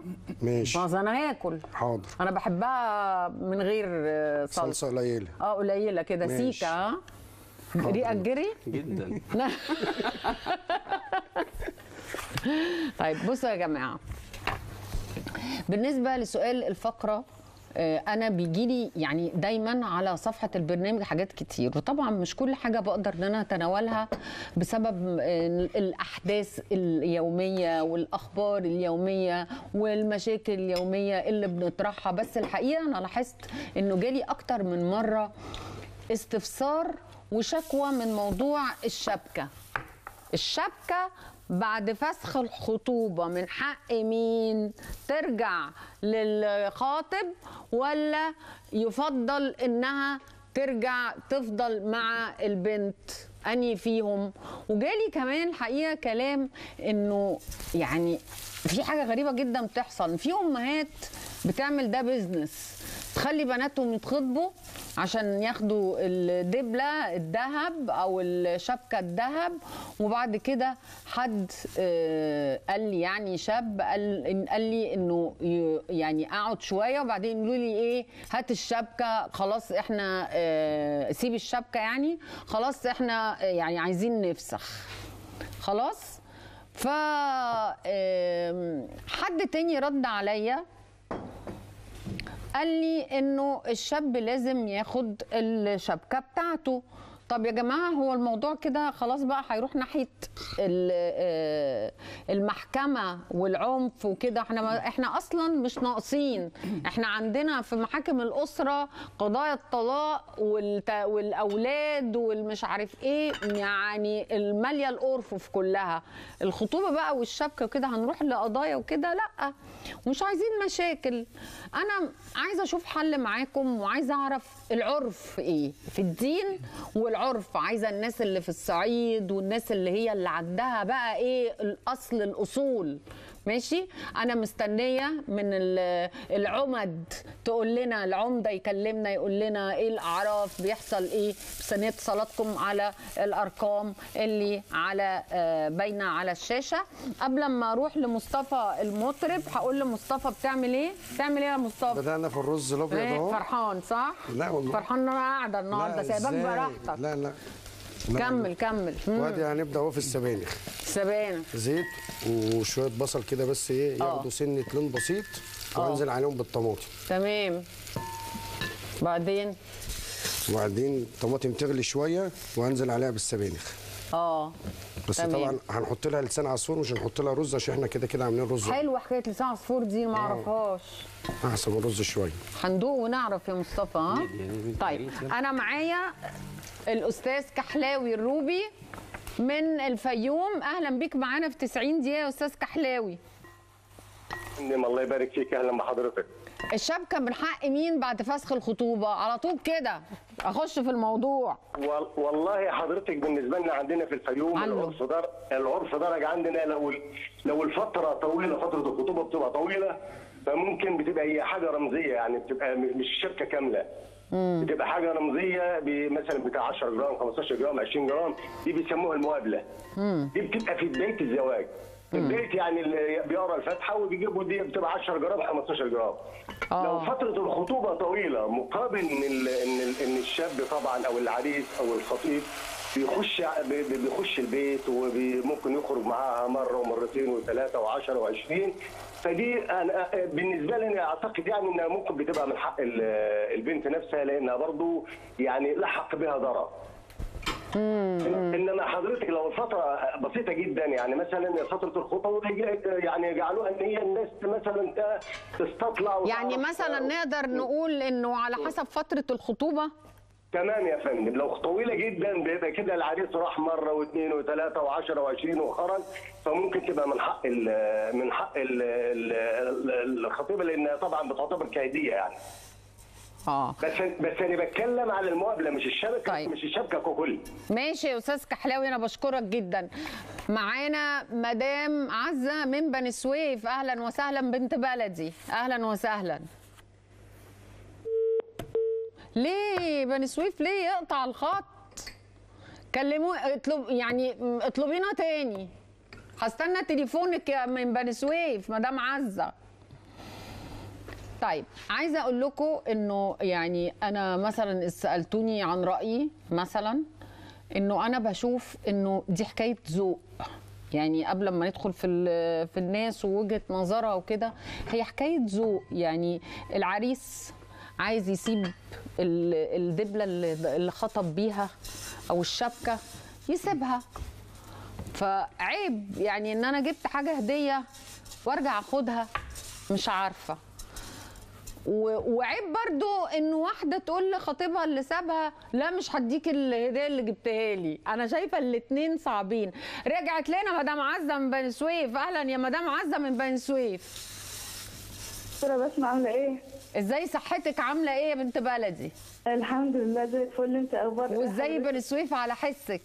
كويسة الحمد لله. حضرتك عاملة إيه دكتورة؟ سلمي لنا على كل أهل بني سويف الله يسلمك الله يسلمك يا قولي. لي الشبكة بقى لما في الخطوبة فسخ الخطوبة تروح لمين؟ آه والله وعلى حسب القرار جاي من مين ومين اللي كاره. آه يعني مين اللي عايز يفسخ؟ يعني آه قصدك. بالظبط آه. آه يعني لو لو العريس هو اللي خد القرار وقال لا أنا مش عايزة أكمل يبقى ملوش شبكة. الشبكه كده تبقى من حق العروسة. آه حلوة دي برضو. ولو العروسة آه هي اللي عايزة تفسخ هي اللي عايزة تفسخ الخطوبة ياخدها العريس. ومش عايزة تكمل لا بتديله حاجته كلها. جايب بقى هدايا جايب شبكة آه، جايب لبس جايب يعني أي حاجة من الحاجات دي والدباديب. والدباديب يا مدام عزه والدباديب وكل حاجة.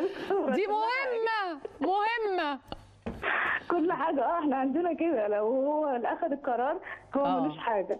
هي اخذت القرار يبقى لا كل حاجة ترجع له. آه آه. طب بصي بيبقى في ناس بتسيب بعض. يعني من غير ما يقولوا لبعض أنا عايزة أفسخ ولا أنا عايزة أفسخ. محدش بيقول. هما بيبقوا مش متفاهمين. ممكن يكونوا طب افرضي الاتنين واخدين القرار بقى. وبعدين؟ هو الموضوع صعب في الوقت ده بس لا لا إحنا عندنا هنا بصراحة أغلب الوقت بيبقى فيه قرار من حد منهم معين. أيوه. امم بيبقى قرار من الكبير العيلة مثلا في دي وكبير. العيلة في دي. آه بالظبط. وهما بيتفقوا برضه. يعني هو إحنا في أصول معروف إن خلاص الله. هو, مش عايز يكمل. آه. في أصول خلاص أنت مش عايز تكمل. أنت مالكش حاجة عندنا آه آه آه لأن أنت اللي أنت أنا- اللي كاره أنت اللي مش عايز. آه. مش عايز تكمل. هي نفس القصة. اتخطبت وصرف عليها وبقى اكل وشرب ومش عارفة إيه و... وقعدوا مع بعض وجاب لها حاجات ماشي. بس رجع قال أنا مش عايز. لا خلاص أنت مالكش حاجة برضه عندنا بشكرك جدا عزة من بني سويف. طيب آه عايزين بقى الطرب بقى. الطرب بقى. هتبدأ بإيه يا مصطفى؟ آه في حاجة كده بحبها جدا لأستاذ مدحت صالح. يلا. آه يعني يا رب تعجبك. إيه أغنية إيه؟ كانت في فيلم حرب إيطاليا. آه. آه أنا مش بعيد يا حبيبتي عنك. يلا.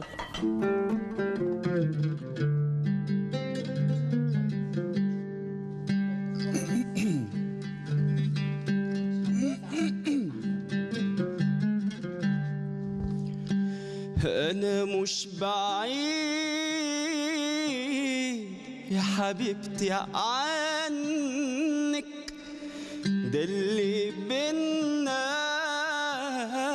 خطوتين. وبرغم شوقي وقربي منك صعب تيجي. العين في العين يمكن قدامي ومش طايلك بس أنا في القلب أكيد شايلك.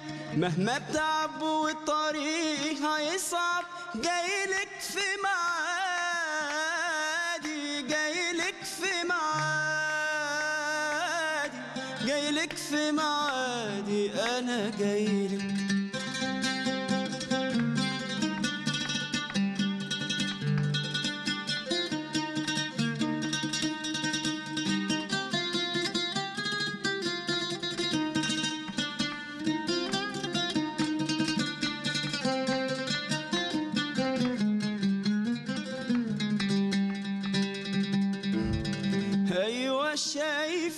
وانت لا بس بكرة هتشوفيني وتعرف إن أنا ليا حق وأكيد ساعتها تعذريني يمكن قدامي ومش طايلك بس أنا في القلب أكيد شايلك. مهما تعب وطريقي هيصعب جايلك في معادي جايلك في معادي جايلك في معادي أنا جايلك يمكن قدامي ومش طايلك بس أنا في القلب أكيد شايلك. مهما تعب والطريق يصعب جايلك في معادي جايلك في معادي أنا جايلك إيه الحلاوة دي؟ بجد يعني رائع يا مصطفى. شكرا يا دكتور شكرا. صوت صوت صوت يا جماعة طرب طرب. تعمل إيه يا شيف مصطفى؟ آه دكتور أنا تايه خالص النهارده. تايه ها؟ امم خليك تايه. عشان تعرف قيمتي. طبعا. اشتغل اتصرف اتصرف لوحدك. هتحشي الفراخ إيه؟ أهو. ده حشوة الفراخ. آه. ادي أول حاجة البصل. أنت هتعملها الأول هتديها آه. نص سوا؟ أيوه. آه. جزر. حلو الجزر. شفتوا؟ عشان مفيد للولاد. يا جماعة انا إحنا بنعمل أكل بيرفع المناعة النهارده. معانا الأستاذ محمد خلف من القاهرة. ألو أهلا يا أستاذ محمد. بيك في 90 دقيقة.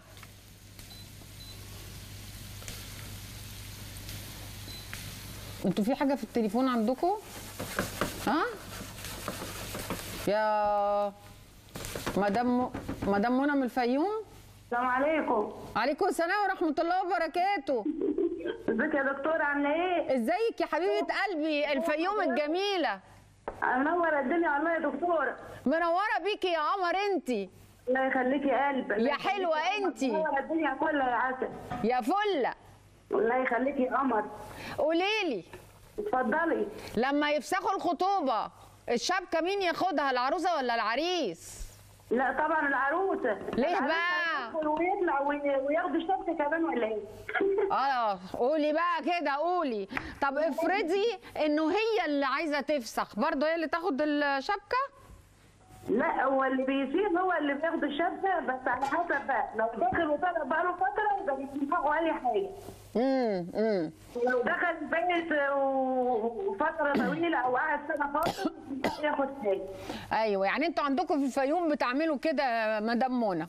أيوه يعني انت تتخطب وخطيبها يفضل طالع طالع سنة وبعد كده أنت ما بتاخد حاجته معاه أنا عارفه يفضل داخل خارج يختي عليها وبعدين في الآخر يفسح وياخد كمان الشبكة معاه؟ وبعد كده ياخد الشبكه معاه وماشي لا يا أختي ما عندناش الكلام ده يا ست منى. لا ما هو عشان يتأدب بالشبكه واي الله. ما ياخدهاش مش كفاية قرفنا سنة طالع خارج علينا. أيوه طبعا أكيد. شكرا يا ست منى من الفيوم. معنا مين يا جماعة؟ الأستاذ محمد خلف من القاهرة. ألو أهلا بيك يا أستاذ محمد في 90 دقيقة. أهلا بيك يا فندم أهلا بيك أهلا بيك ده منين يا أستاذ محمد؟ أنا من القاهرة. ماشي. القاهرة بقى بيعملوا إيه؟ اللي بي... اللي بيفسخوا ال- الشبكة مع مين؟ العريس ولا العروسة؟ على حسب آه، ما يكون المشكلة. إزاي بقى؟ اشرح لي. أنا أنا دلوقتي راجل كنت خاطب. آه. تمام. ودخلت عند بيوت الناس دي مرة واثنين وثلاثة. آه. أجي أقول لها أنا لما مثلا مش عاوزك. تمام. أتعلم الأدب بحاجه بشيء. آه. أنت معايا؟ طب لو هي اللي. قالت لك مش عايزاك. لا تديني حاجتي بقى كلها. والدباديب؟ لا ده دي حاجات ده إيه ده اللي عندي بقى وحش بقى. ممكن أقول لك أنا عاوز كل حاجة بس اخدها أرميها. أهم حاجة الذهب ها؟ أهم حاجة الذهب أكيد طبعا. وخصوصاً اليومين دول. حاجات تافهة. آه. حاجات تافهة يا فندم. طب لو قالت لك لأ تعمل إيه؟ لو قالت لأ آه. ده بجيب بجيب ناس بقى تعالوا يا جدعان الأمر كذا كذا كذا والدنيا ب- والناس اللي بتتدخل مم. كبار البلد يعني. لو هي كارهة لو هي مش عاوزاني أيوه أيوه. كبار البلد يعني يحكموا يعني. آه ناس كبيرة بقى خالي أبويا عمي قرايبها من بعيد. آه، مش ابوها آه. وأمها ابوها وأمها ممكن يكونوا وحشين. كنتوا بيتاجروا في الحو في الحكاية دي. ال- الموضوع ده صعب ولا ممكن يتحل في قعده لا ممكن بي ممكن لا بيبقى ممكن يتحل. مش من الأمور الصعبة يعني. لا لا لا لا ممكن يتحل لو سوء تفاهم لو سوء تفاهم لو لو ناس عاقله شكرا. شاريه بعضيها. شكرا. يا أستاذ خلف. شكرا ليك. طيب عندكم حد تاني ولا ندخل في أغنية يا جماعة؟ مين؟ أم ريناد؟ أم ريناد من المنوفية. أهلا بك يا أم ريناد. عاملة إيه يا مدام باسم إزيك يا حبيبتي؟ عاملة إيه انتي الحمد لله بخير والله. انت عاملة إيه؟ عاملة إيه في البرد ده؟ الحمد لله كله تمام. البرد القمر تمام معاكي. مش برد عندكم؟ يعني شوية شوية حرام عليكي يا شيخة ده أنا بتهلك. لا شوية بس. طيب منوره قولي الشاشه ومنوره الدنيا كلها وحياه ربنا. يا حبيبتي ده نورك اللي انت عملتي مداخلة معانا النهارده يا أنا أول جميلة. مرة أقسم بالله في حياتي أتكلم في التلفزيون أول مرة. حبيبة قلبي لا خليكي بقى معانا على طول صديقة البرنامج ها؟ حبيبتي طبعا أنت منوره الدنيا كلها وحياه ربنا. ميرسي يا حبيبتي شكرا. بصي وأنا رأيي بصراحة إن يعني مش مش مش دخول البيوت يعني على البنات بالساهل يدخلوا وشويه داخلين خارجين وبعدين خلاص هنسيب. بس إحنا عندنا في البلد انه لو لو هو اللي هيسيب بيستغنى. كانت لسه في متصل قايلة نفس لو هو هيسيب إيه يا ام ريناد لو هو اللي هيسيب بيستغنى عن الحاجة عن الذهب. آه آه آه.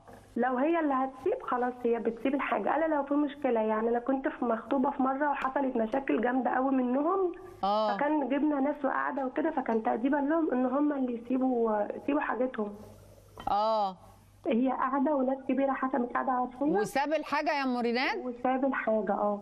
امم ساب الحاجة. بس- بس أنا لو كنت هسيب عمل مشاكل جامدة فكان الحكم عليه إن هو اللي يسيب الحاجة. هي هي بتبقى أوقات بتبقى عند صح؟ ما هي عند آه طبعا. امم امم آه ده انت عملت مشاكل جامدة قوي يعني في أعراضي وكده فخلاص كان تقريبا آه. إنه هيسيب الحاجة. عندك ولاد يا ام ريناد يعني لسه والله ادعي حبيبتي ربنا يكرمك إن شاء الله. شفتي فضلة خيرك النهارده عندنا سبانخ. بتحبي السبانخ؟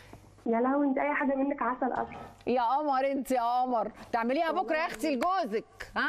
يا لا جوزي ما بيحبهاش والوصفه ما العافيه ياكلها. آه ما عندناش رجالة تقول لا ياكلها يعني ياكلها. اللي موجود؟ هياكله شكرا يا حبيبتي بنشكرك. ندخل بقى على إيه؟ ابو وهاب اديني يا عبد الوهاب. يلا.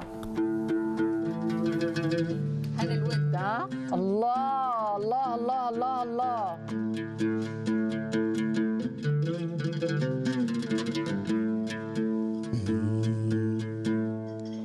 قالوا لي هان الود عليك ونسيك وفات قلبك وحداني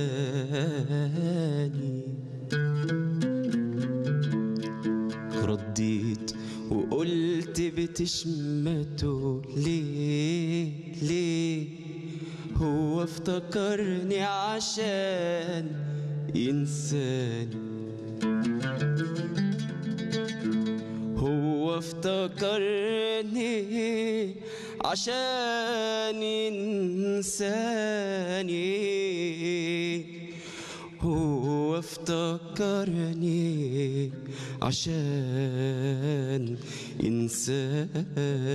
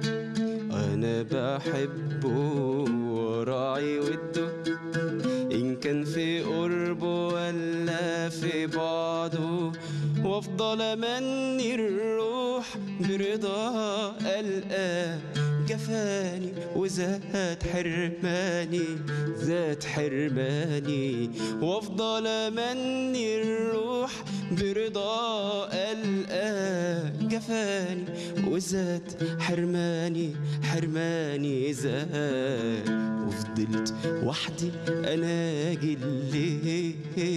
كان افتكرني عشان ينساني. آه عشان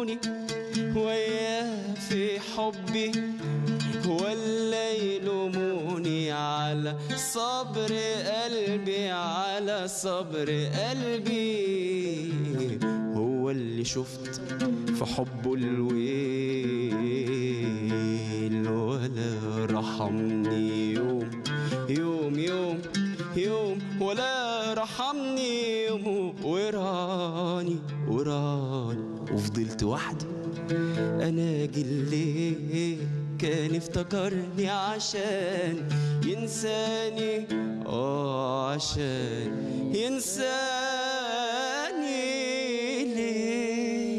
الله الله الله الله الله الله يا مصطفى. مش ده نفسيش أطلع فاصل يا تامر ارحمني. بتيجي في أوقات لازم فاصل؟ هنطلع فاصل يا جماعة. هنطلع فاصل. اتفضل اتفضل اتفضل اتفضل.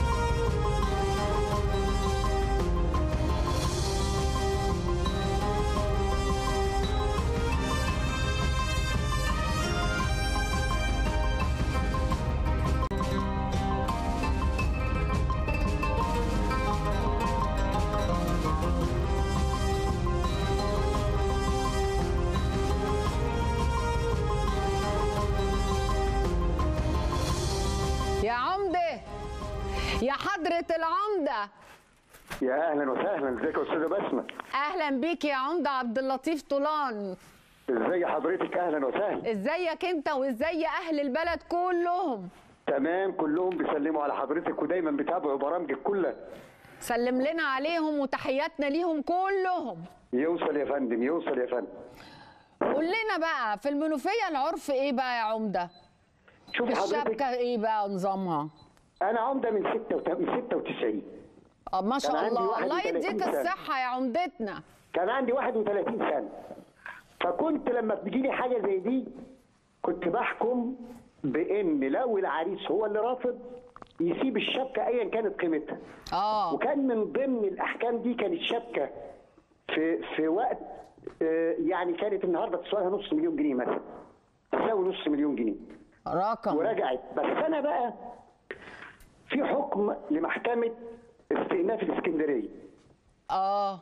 واخده بال حضرتك؟ يعني هو في موضوع مواضيع شبكة خطوبة وصلت للقضايا؟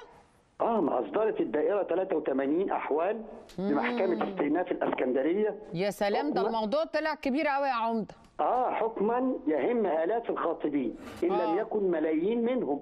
آه. برد الشبكة والهدايا للخاطب حال فسخ الخطبه من جانب أي من الطرفين. يعني لو العروسة هي اللي رافضه أو العريس هو اللي رافض ياخد الشبكة برضه.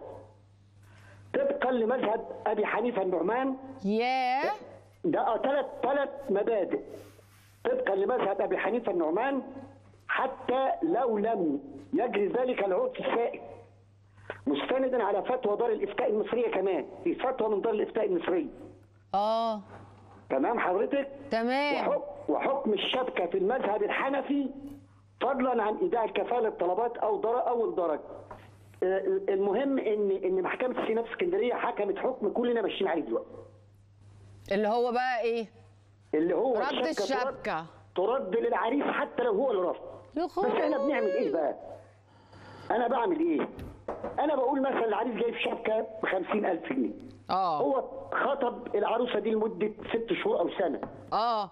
الناس دول اتكلفوا عزايم ومصاريف. آه. بنقول له انت ت ت ت ترد للناس دي ال- المصاريف اللي صار... لا حتى خاصة لما يكون ناس على قدهم يعني. آه. تديهم المصاريف اللي هم صرفوها يعني الشبكة تتباع ويدي ولا هو يدي وياخد ياخدها الشبكة؟ أو ياخدها ويديهم فلوس. معقولة؟ يعني. العريس بياخد الشبكة في الآخر؟ ما هو إحنا إحنا بقى دار الإفتاء المصرية يا قالت كده. حزني دار الإفتاء يا أستاذة بس. إيه عمدتنا؟ دار الإفتاء المصرية قالت كده. لا طبعا ده إحنا سمعنا وقطعنا ده أكيد ده أكيد عن وحكم محكمة استئناف اسكندرية. الدائرة 83 بالتحديد. طب تمام؟ فالكلام منتهي بالنسبة لدار الإفتاء والأئمة وحكم محكمه اسكندريه إحنا بنعمل إيه؟ أنت راجل قعدت سنة تروح وتاكل وتاكل وتشرب بتدفع الحاجات دي وأهلك بيتعزموا. ما بيعملوا له عزايم أكيد. عملوا حفلة حفلة بسيطة أو كبيرة بيتحاسب عليه لو الكلام ده مساوي لقيمة الشبكة رسيبها. لو الكلام ده مساوي لقيمة الشبكة رسيبها. هو ده الهدف. إن ناس يعني غرمت فلوس طب لما افرض بيكونوا لما بتكون العروسة هي اللي رافضة لأي سبب من الأسباب فخلاص بياخد شبكته. طب افرض العروسة أو أهلها قالوا لك لا مش هنرجع مش هنرجع الشبكة. لا بتعملوا بنقول بقى إيه ما إحنا أمال إحنا لازمتنا إيه بقى؟ يا كبير يا كبير يا عمدتنا أنت. يعني المفروض إنه في الحالات اللي زي كده الناس المحترمة والعائلات الكويسة تروح لكبير البلد. طبعا تروح لكبير العيلة والمفروض إنه أنت قلت جبت من الآخر.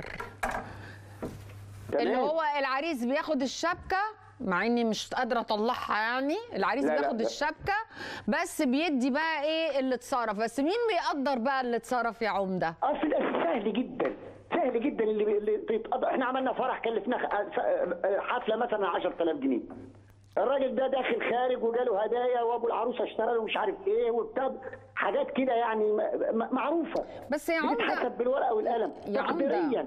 هي هي مش هي مش مش مش بتبقى بال- بالتحديد هي بتبقى تقديرية وبنيجي على العريس شوية. طب بقول لك إيه يا عمدة؟ يعني هو اتفضلي. دخول الراجل كده العريس ودخوله وخروجه على العروسة واتكتب يعني في, ص- في عليها إنها اتحسبت عليها إنها اتخطبت وده كله ملوش مقابل يعني؟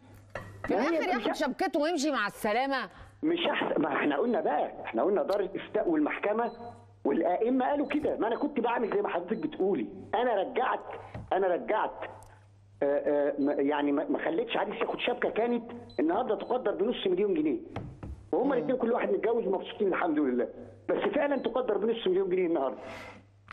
واخده بال حضرتك؟ يعني كانت بالظبط حوالي 350 جرام ده. فقلت العريس هتسيب الشبكة؟ أنا هسيبها. وهو مش العريس أبوه اللي قال. لا إحنا هنسيب الشبكة. لأن أنا بقول له في سبب قال مفيش. طب حد مزعلك في حاجة؟ قال لا. قلت له خلاص. انما أنا كده يعني ما عملتش الصح. طب لما بتكون بعض الحالات وده أكيد بيحصل بيبقى فيها مشكلة بتتعاملوا مع الحالات دي إزاي لما بيكون العند ده موجود بقى؟ لا ده عايز ولا ده عايز؟ وأكيد بيحصل. يعني الناس ب... الناس بتحبنا وبتشتري خاطرنا. حلاوتك يا عمدة ده أنا هاجي لك لو في مشكلة. تشرفي. إحنا إحنا بنشتغل لوجه الله. وبنشتغل بدون مقابل. يعني العمدة ما بياخدش مقابل. طبعا. وبنشتغل عارفة إن إحنا إن إحنا بنعمل لوجه الله. فبي بي- يعني بي ربنا. يخليكم ويكرمكم وشكرا لعمدة عبد اللطيف طولان. آه، انت بقى لازم تدينا أغنية بقى إيه ح- يعني. حزيني بقى. آه لأنه اللي قاله ده يعني كارثة للستات. آه. هل هات لنا مثلا هان الود؟ إيه رأيك؟ آه إحنا لسه قايلينها. صفور مثلاً؟ آه آه, حاجة أم آه. كلثوم مثلا. يلا وصفوا لي الصبر. من ضمن الحاجات اللي اللي بتصبر الست دي. يلا. أيوه اصبري يا حبيبتي اصبري اصبري اصبري. وصفوا لي الصبر لقيته خيال وكلام في الحب كلام في الحب يا دوب. يا دوب اتقال صفول السهر لقيته خيال وكلام في الحب كلام في الحب يا دوب يا دوب يتقال. أهرب من قلبي الحلوة في كل مكان مليناها حب إحنا الاتنين وملينا الدنيا أمل. أيوه بقى.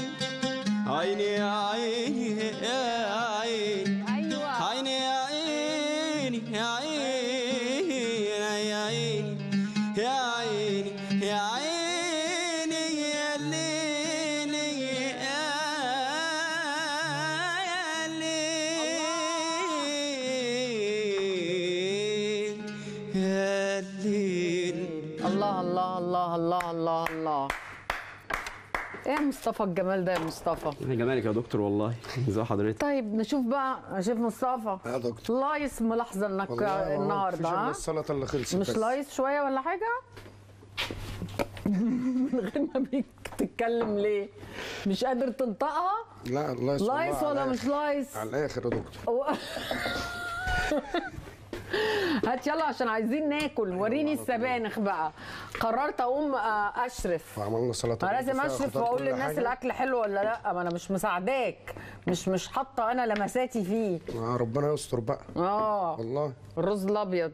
عايزين حاجات ن... حالاً. ندوق. أيوه. استنى يا مصطفى ندوق. يلا جدا. آه. بعد كده هنقول إيه؟ هنعمل ميدلي كده لطيف كده شبابي برضو. طيب ماشي. نفتكر مع بعض بهاء سلطان طبعا وعودا حميدا طبعا. يعني. الله السلطة حلوة قوي للأسف. خلاص كفاية. هات اللي بعده.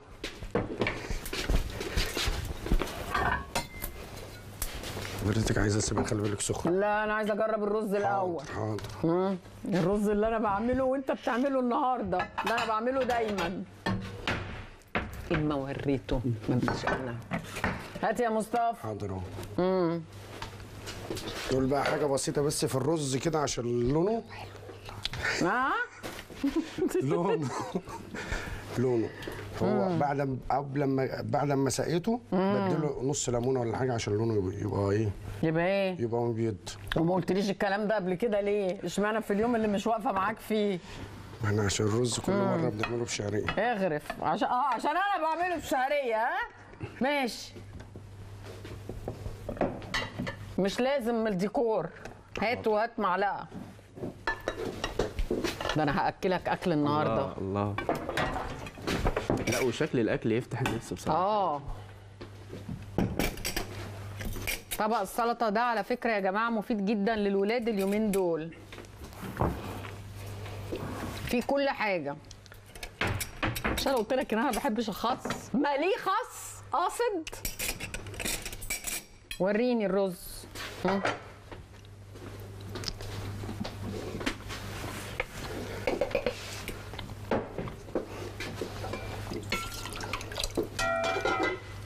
جماعة المخرج بيسألني وبيستفزني. بيقول لي بصراحة الرز بتاعه ولا الرز بتاعك؟ لا بتاع حضرتك طبعا هدوق تاني علشان أعرف أركز. اسكتوا اسكتوا اللي في الكنترول أنتوا. استنوا.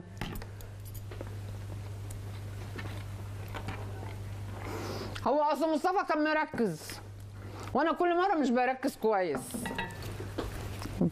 بس بتاع أحسن برضه. حتى لو ده برضه يا دكتور ما كلها توجيهاتك برضه. ماشي يا مصطفى. هات بقى يعني. ما أدوق لك السبانخ. بصوا يا جماعة طبق السبانخ حلو وجميل إزاي؟ قرب قرب يا تامر. أنت بتحبش ال- السبانخ يا تامر؟ منفسنا امم ركز مع السبانخ يا تامر أحسن لك. يلا. اديني بقى معلقة. في معلقة؟ إيه آه إيه عشان أدوق. يا جماعة أنتوا سمعتوا على السبانخ بال بلسان عصفور؟ أنا أول مرة أعرف. دي جديدة بقى. بس متهيألي إن أنا يعني دي طبق فاضي أجرب في الطبق الرز مع السبانخ ما ينفعش أجربها كده سادة.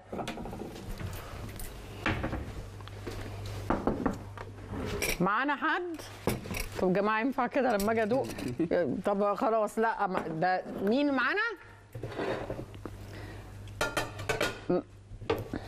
طيب معانا من علماء الأزهر الشريف الشيخ إسلام النواوي أهلا بيك يا شيخنا ومنورنا في 90 دقيقة. أهلا وسهلا يا دكتور أهلا بحضرتك. أهلاً بحضرتك. منور بحضرتك والمشاهدين المحترمين. أهلا بيك. رأي الدين إيه؟ في إنه فسخ الخطوبة الشبكة لل... لل... للخط... للست ولا للراجل؟ طيب الحمد لله والصلاة والسلام على سيدنا رسول الله. قبل ما أقول لحضرتك ال- الإجابة أيوة. آه لازم الناس تفهم إن التقدم للزواج هو أمانة من الأمانات. يعني اللي داخل بيت لابد إنه يبقى عارف إنه داخل مؤتمن. أيوة. بعض الناس بتقدم على هذا الأمر من باب العب من باب العبث من باب أي باب من من اللي إحنا بنشوفها دلوقتي. فالتقدم لخطبة إنسانة هو أمانة من الأمانات. والشرع لما احل للخاطب أن ينظر إلى المرأة فهو احله من باب الأمانة لأنه داخل البيت من بابه. ولازم الناس تنتبه لده. وارد عند التقدم للخطبة انه يحصل خلاف في وجهات النظر وده وارد وده آه، طبعاً. أسباب مشروعية الخطبة. آه، العلماء تكلموا إن آه، الذهب الذي يقدم لل- للفتاة هو عبارة عن جزء من المهر، يعني أنا بتقدم لخطبه إنسانة فبقدم جزء من الشبكة اللي هو مثلا الدبلة والمتم وال- والخاتم أو إن أنا بجيب شبكة كاملة فده اعتبروه جزء من المهر اللي هو يستحل به الفرج. فبعض العلماء قالوا إذا لم يتم العقد وإذا تم فسخ الخط- الخطبة فهنا يذهب الذهب إلى الخاطب بس آه. وجدنا ثواني بقى أنا عايز أقول تعليق أيوه. وجدنا في مشكلة بتحصل إن في خطوبة بتستمر لخمس سنوات. آه. يعني يبقى الخطوبه خمس سنوات تمام. سنوات. و- ويعني مش الكلام اللي هقوله ده مش شرعي يعني مش الشرع اللي بيقوله. بس إحنا مش من- مش بنحب الخطوبة طول كده لأن بيحصل فيها مشاكل كتير جدا بيحصل فيها مخالفات كتير جدا. لكن على كل الشرع قال إن الذهب يذهب إلى ال- الشاب في حالة فسخ الخطبة. طب وجدنا بقى حد يقول لي أنا بنتي اتخطبت خمس سنوات وداخل وخارج و و و دي لو كانت اتجوزت يا مولانا كان هيبقى معاها عي- عيال في مدرسة.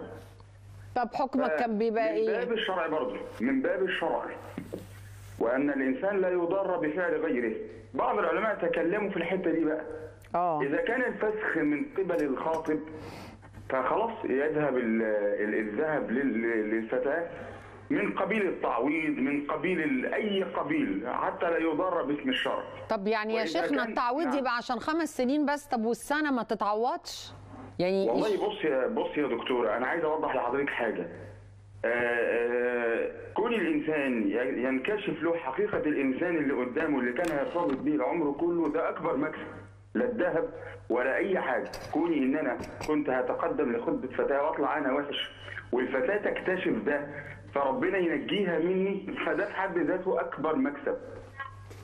لكن آه، آه، برضو القصة مش قصة عوض بقدر ما هي قصة تنظيم الحال تنظيم الخطوبة تنظيم آه.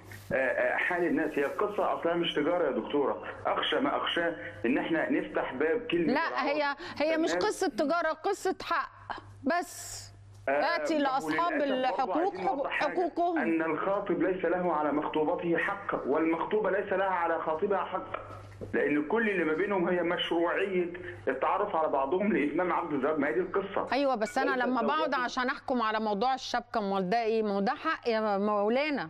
يا فندم ما أنا بقول لحضرتك هي ليست زوجته فهينفصلوا فتأخذ حقها. هي مجرد إنسانة مشروع له إنه يتعامل معها في إطار محدود عشان يتعرف عليها فتتم الزواج. فالعلماء تكلموا وقالوا إذا لم يتم الزواج فده من جملة المهر اللي هو الاستحلال الفرج. فإذا لم يتم الزواج ما خلاص ال- ال- الموضوع اللي كان جاي عشانه الذهب وجاي عشانه كل شيء لم يتم فمن باب الشرع برضه لا يتم. اذا طيب المشكلة كل حالة بيبقى ليها حكمها يعني أو ليها لا ظروفها يا و... فندم لا يا فندم مش كل حالة لها حكم. إحنا عندنا حكم ماستر حكم أصلي هنمشي عليه وبعد كده الاستثناءات دي مش هنقيس عليها. لكن هي القصة برضو الناس تعبت من إيه؟ آه. الناس تعبت من المخالفات. ما هو لو واحد لما بيخطب إنسانة المخالفات اللي بيعملها وال- وال- والعرف اللي جرى بين الناس بيخلي الناس تبحث عن العوض. إنما إحنا لو ملتزمين بآداب الخاطب والمخطوبه ما حدش هيبص للموضوع ده. هيجي يقول لك مثلا اصل السنة اللي خطبها طفش عليها عرسان كتير. اصل هو كان بي بيروحوا ويخرجوا مع بعض فتحب آه بيتفسحوا الخروج والدخول. أنا عارف إن طبيعة المجتمع متغيرة وي وي بس الشرع لا يحكمه طبيعة المجتمع. الشرع هو اللي يحكم المجتمع. لكن القصة برضو نرجع ونقول إن آه، أخلاق الدين فيها روح كبيرة قوي. بعض الناس أنا يعني بقعد أحكم بالناس كتير. في واحد يقول لك خلاص والله ما حصلش نصيب وأنا برضو زي ما دخلت البيت من بابه اللي هم عايزين يعملوه يعملوه. أنا تحت أمرهم. وفي بعض أسر الفتيات يقولوا والله الموضوع لم يتم فإحنا مش مش عايزين منك حاجة اتفضل. في ناس بتبقى داخلة الموضوع من باب الت- التجارة زي ما حضرتك بتقولي بقى. مين يعوضها؟ لا بالعكس ده بزنس إنها ربنا ينجيها من شخص كان لا تستحيل عشرته معاه فده مكسب كبير قوي يا فندم. وفي الأول وفي الآخر لابد إن الناس إنها تراعي إن موضوع الخطوبة الخطوبة ليست زواج وإنما هي إشعار بإن إن شاء الله يبقى فيه حاجة. ودي المشكلة اللي عند ناس كتير. بعض الناس بيعتبروا الخطوبة زواج فمن أول يوم خطوبة بيتعاملوا معاملات مش مش طبيعية يعني. نرجع نقول إن الحكم الأصلي إذا تم آه، ال- ال- الذهب أو الشبكة هي جزء من المهر الذي يتم به استحلال الفرج. فإذا لم يتم العقد وإذا لم يتم الزواج فإن الذهب من حق الخاطب. وبعض العلماء تحدثوا وقالوا إذا كان الفسخ من قبل الخاطب آه. الذهب لل- لل- للمرأة وإذا كان الفسخ من قبل المرأة فالذهب لل- للرجل. أنا بشكرك جدا الشيخ إسلام نواوي من علماء الأزهر. معانا مين تاني يا جماعة؟ معانا عبير حسن الخطبة. تعالي لي. تعالي لي يا عبير. ازيك يا عبير؟ عاملة إيه؟ بصي أنا هدوق وإحنا بنتكلم. ماشي. قولي لي. بقى قولي لي يا عبير إيه اللي بيحصل بقى؟ في إيه؟ احكي لي إيه الموضوع. احكي لي. بصي هو اللي بيحصل كل خير. اللي آه. بيحصل كل خير. آه. وأنا طبعا مع الشيخ إسلام النواوي وبوجه له كل التحية والشكر والتقدير. وبقول له فعلا هو كده وكتير كتير من الخطوبات اللي أنا بسعى في جوازهم بتواجهني معاهم نفس المشكلة ديت إن بعد فترة من الخطوبة آه، ما بيبقاش في نصيب ما بين الاثنين وبعضيهم. بيرجعوا لي في موضوع الشبكة. إحنا نرد له الشبكة ولا نعمل إيه في الشبكة ولا نقسمها بالنص ولا نرجعها له كلها على بعضها ولا نعمل فيها إيه بالظبط. آه. طبعا الرأي ال- الأول والنهائي والأخير هو رأي الشرع في الموضوع دوت إن ال- ال- الخ- الخاطب من حقه شبكته سواء كان هو اللي خاطب أو هي هو اللي سايب أو هي اللي سايبة. آه. واخده بالك؟ والموضوع اولا وأخيرا ما بيبقاش تجارة. أنا لو حطيت نفسي مكان أم العروسة وجي حد اتقدم لبنتي وقدم لها شبكة بقيمة معينة الشبكة ديت أنا هرجعها له كاملة وفوقيها كمان الهدايا اللي هو جابها لها. يعني انت لو جاب جبتي لو انت وفقتي راسين في الحلال وحصل بينهم الموضوع ده انت بتعملي إيه؟ بقول لهم طبعا إن أنا رأيي من رأي الشرع لازم ترجعوا له الشبكة كاملة. حتى لو طلع في المواضيع مواضيع. يعني أي نعم أنا عارفة إن هو ضيع من عمر البنت سنة أو اتنين في الخطوبة. مم. أنا عارفة إن هو طلع ودخل وأكل واتعزم هو وأهله بقيمة الشبكة ويمكن أكتر من كده كمان. فبتحكمي بإيه بقى؟ آه في الأول وفي الآخر الحق يقال إن الشبكة من حق العريس طبعا. إلا بقى لو في آه، ناس واخدين الشبكة دي التجارة. آه. بالنسبة لهم. هم ما أنا لسه بقى كنت هقول لك في ناس بتعمل الموضوع ده تجارة. قابلتيهم وقعتي فيهم؟ آه قابلتهم طبعا. أمال إيه؟ قابلتهم. وبتتصرفي إزاي؟ بتعرفيهم؟ ولا بت... ولا بتكشفوا يعني قدامك بقى من تصرفاتهم؟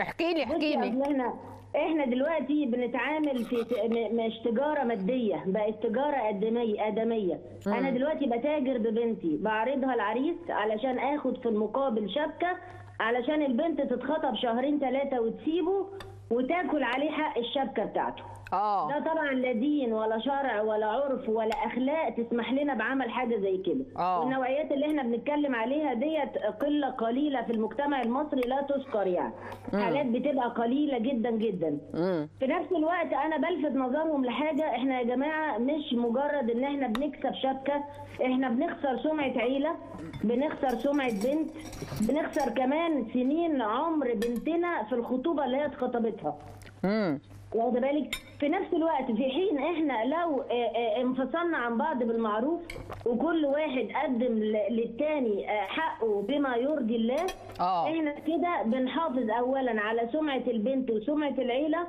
وحصلت عندي حاجة عايزة أقولها لك برضو يا أستاذة بسمة. قولي قولي يا عبير. آه في عريس بعد الخطوبة بحوالي ثلاث شهور بعد ما قدم شبكة كبيرة آه. آه، صارح البنت بكل أمانة وبكل صدق إن هو آه، مفيش نصيب. هينفصلوا وإن هو مش لاقي نفسه معاها. رغم إن هم بدأوا استعدادات الشقة.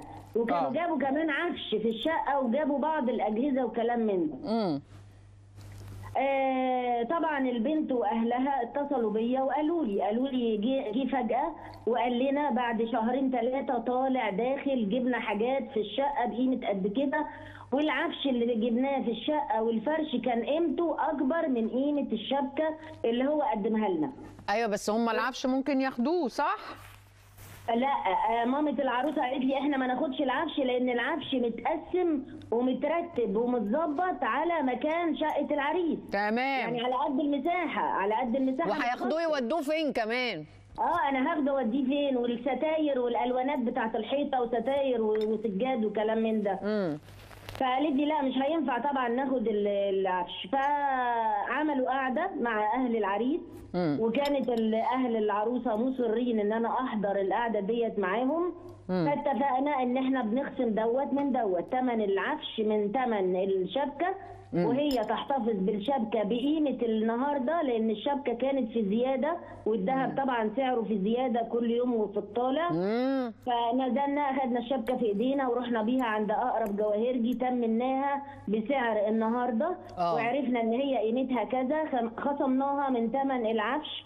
وكمان اجبرتها إنها ترد له كل هدية هو قدمها لها كان آه. جايب لها بقى خاتم إضافي وكان جايب لها سلسلة في الفالنتاين وكان جايب لها يا عيني على الفالنتاين. إيه الرجالة آه، تستعد حاجة. قرب امم أيوه. استعدوا. إن الفالنتين دوت بيكون سبب لفركشة جوازات. ما هو يعني أصل يعني كمان مش في فالنتين يعني ما يجيبوش يا عبير يعني كمان يعني. لا ما بقى اللي. ما بيجيبش اللي ما بيجيبش هدية على طول بتتفسخ خطوبته الله. السنة اللي فاتت اتفركشت لي خطوبة بسبب الفالنتين ده. ما قدمش العروسة الفالنتين بتاعها. تاني شهر على طول أحسن. عشان ما بيفهمش ما بيفهمش. لي ما عندوش أحاسيس. آه. أيوه. بشكرك جدا يا عبير. بشكرك جدا يا مصطفى. أنا كل ده دقت بس لسه ما أكلتش. لا طبعا. نطلع فاصل؟ أو عشان عايزة أقوم اقدم عشان أكل كذا مره فاصل يا جماعة.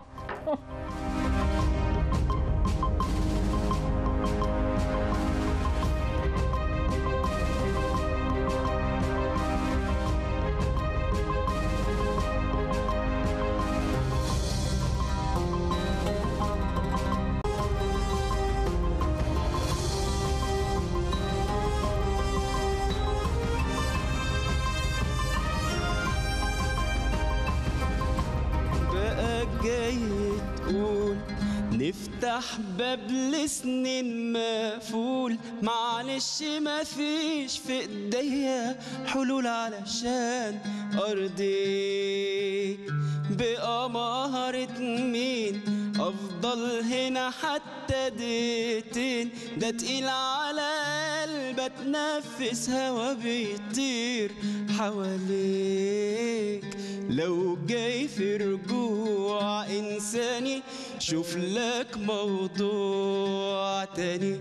ارجع للي آذاني وعليها إيه. ما تقلبليش في مواجع. وقتك بخلص بقى ضايع مش لالبنا في الشارع علشان يرضيك وأنا غلطان. عشان حبيت وبينت اهتمامي بيك. عشان كده يعني بقيت منفعش ومن نظرك نزلت ما بقتش لايق ليك. وكان مفروض ما أحبكش ولو حبيت ما بينش ودلوقتي خلاص همشي أنا وقلبي اللي دايب فيك وليه طيب عشان طيب عشان يعني اللي في قلبي على لساني بتكسرني وتخسرني. آه بتخسر حبي مش سهل تلاقيه تاني. واللي طيب آه عشان طيب عشان يعني اللي في قلبي على لساني. بتكسرني وتخسرني آه بتخسر حب مش سهل تلاقيه تاني. بتخسر حب مش سهل تلاقيه تاني. ما بتعلمش لغيره القلب ما بيحلمش. ينام الليل وسهرانة في هواه ما بنامش يروح ويغيب وينساني ولما يجيني من تاني سامحه القلب في ثواني كأنه ليالي ما تألمش وليه أيامي يهرب مني قدامي. غرام وده كل أحلامي ولا أحلامي ما بتكملش وليه؟ بتعدي أيامي تهرب مني قدامي. غرام ده كل أحلامي. وليه أحلامي ما بتكملش وأنا غلطان؟ الله عليك بقى الله عليك. بقول لك إيه؟ خش بقى على طول على طول كده على عبد المطلب يلا. ساكن في حي السيدة. وبقى هننهي وأنا قلت لكم يا جماعة عايزة شاي زحلق شاي أخضر. جماعة أصل أنا دقت جامد قوي كتير. كلت جامد. بجد بشكرك يا شيخ مصطفى. والله العظيم. الأكل يعني عسل فلة مصطفى هياكل دلوقتي. آه وبشكر السادة المشاهدين إنكم يعني تحملتونا النهارده. وبنحبكم جدا ونشوفكم الأسبوع القادم إن شاء الله في حلقة جديدة من 90 دقيقة. وكلكم كلوا سبانخ وأكلوا ولاد سبانخ واللي مش هياكل سبانخ من العيال هتقولي هجيب له بالرجل مسلوخ. يلا. أنا عايز بس أقول حاجة قبل ساكن في حي السيدة. آه إن شاء الله أنا في أغنية نازلة قريب أغنية اسمها آه، ما أقدرش أعيش. الله. من كلمات مصطفى ديشا وألحان باسل وتوزيع كريم سليم وإن شاء الله تعجبهم. إن شاء الله. يا رب تبقى فتحة خير يعني إن شاء الله تنجح وتكسر الدنيا يا رب- يا مصطفى. رب يا دكتور، يا أنت رب. ده أنت شوف أنت في الطرب عامل إزاي. يلا نعمل حاجة جميلة. يلا. يلا بينا. Thank you.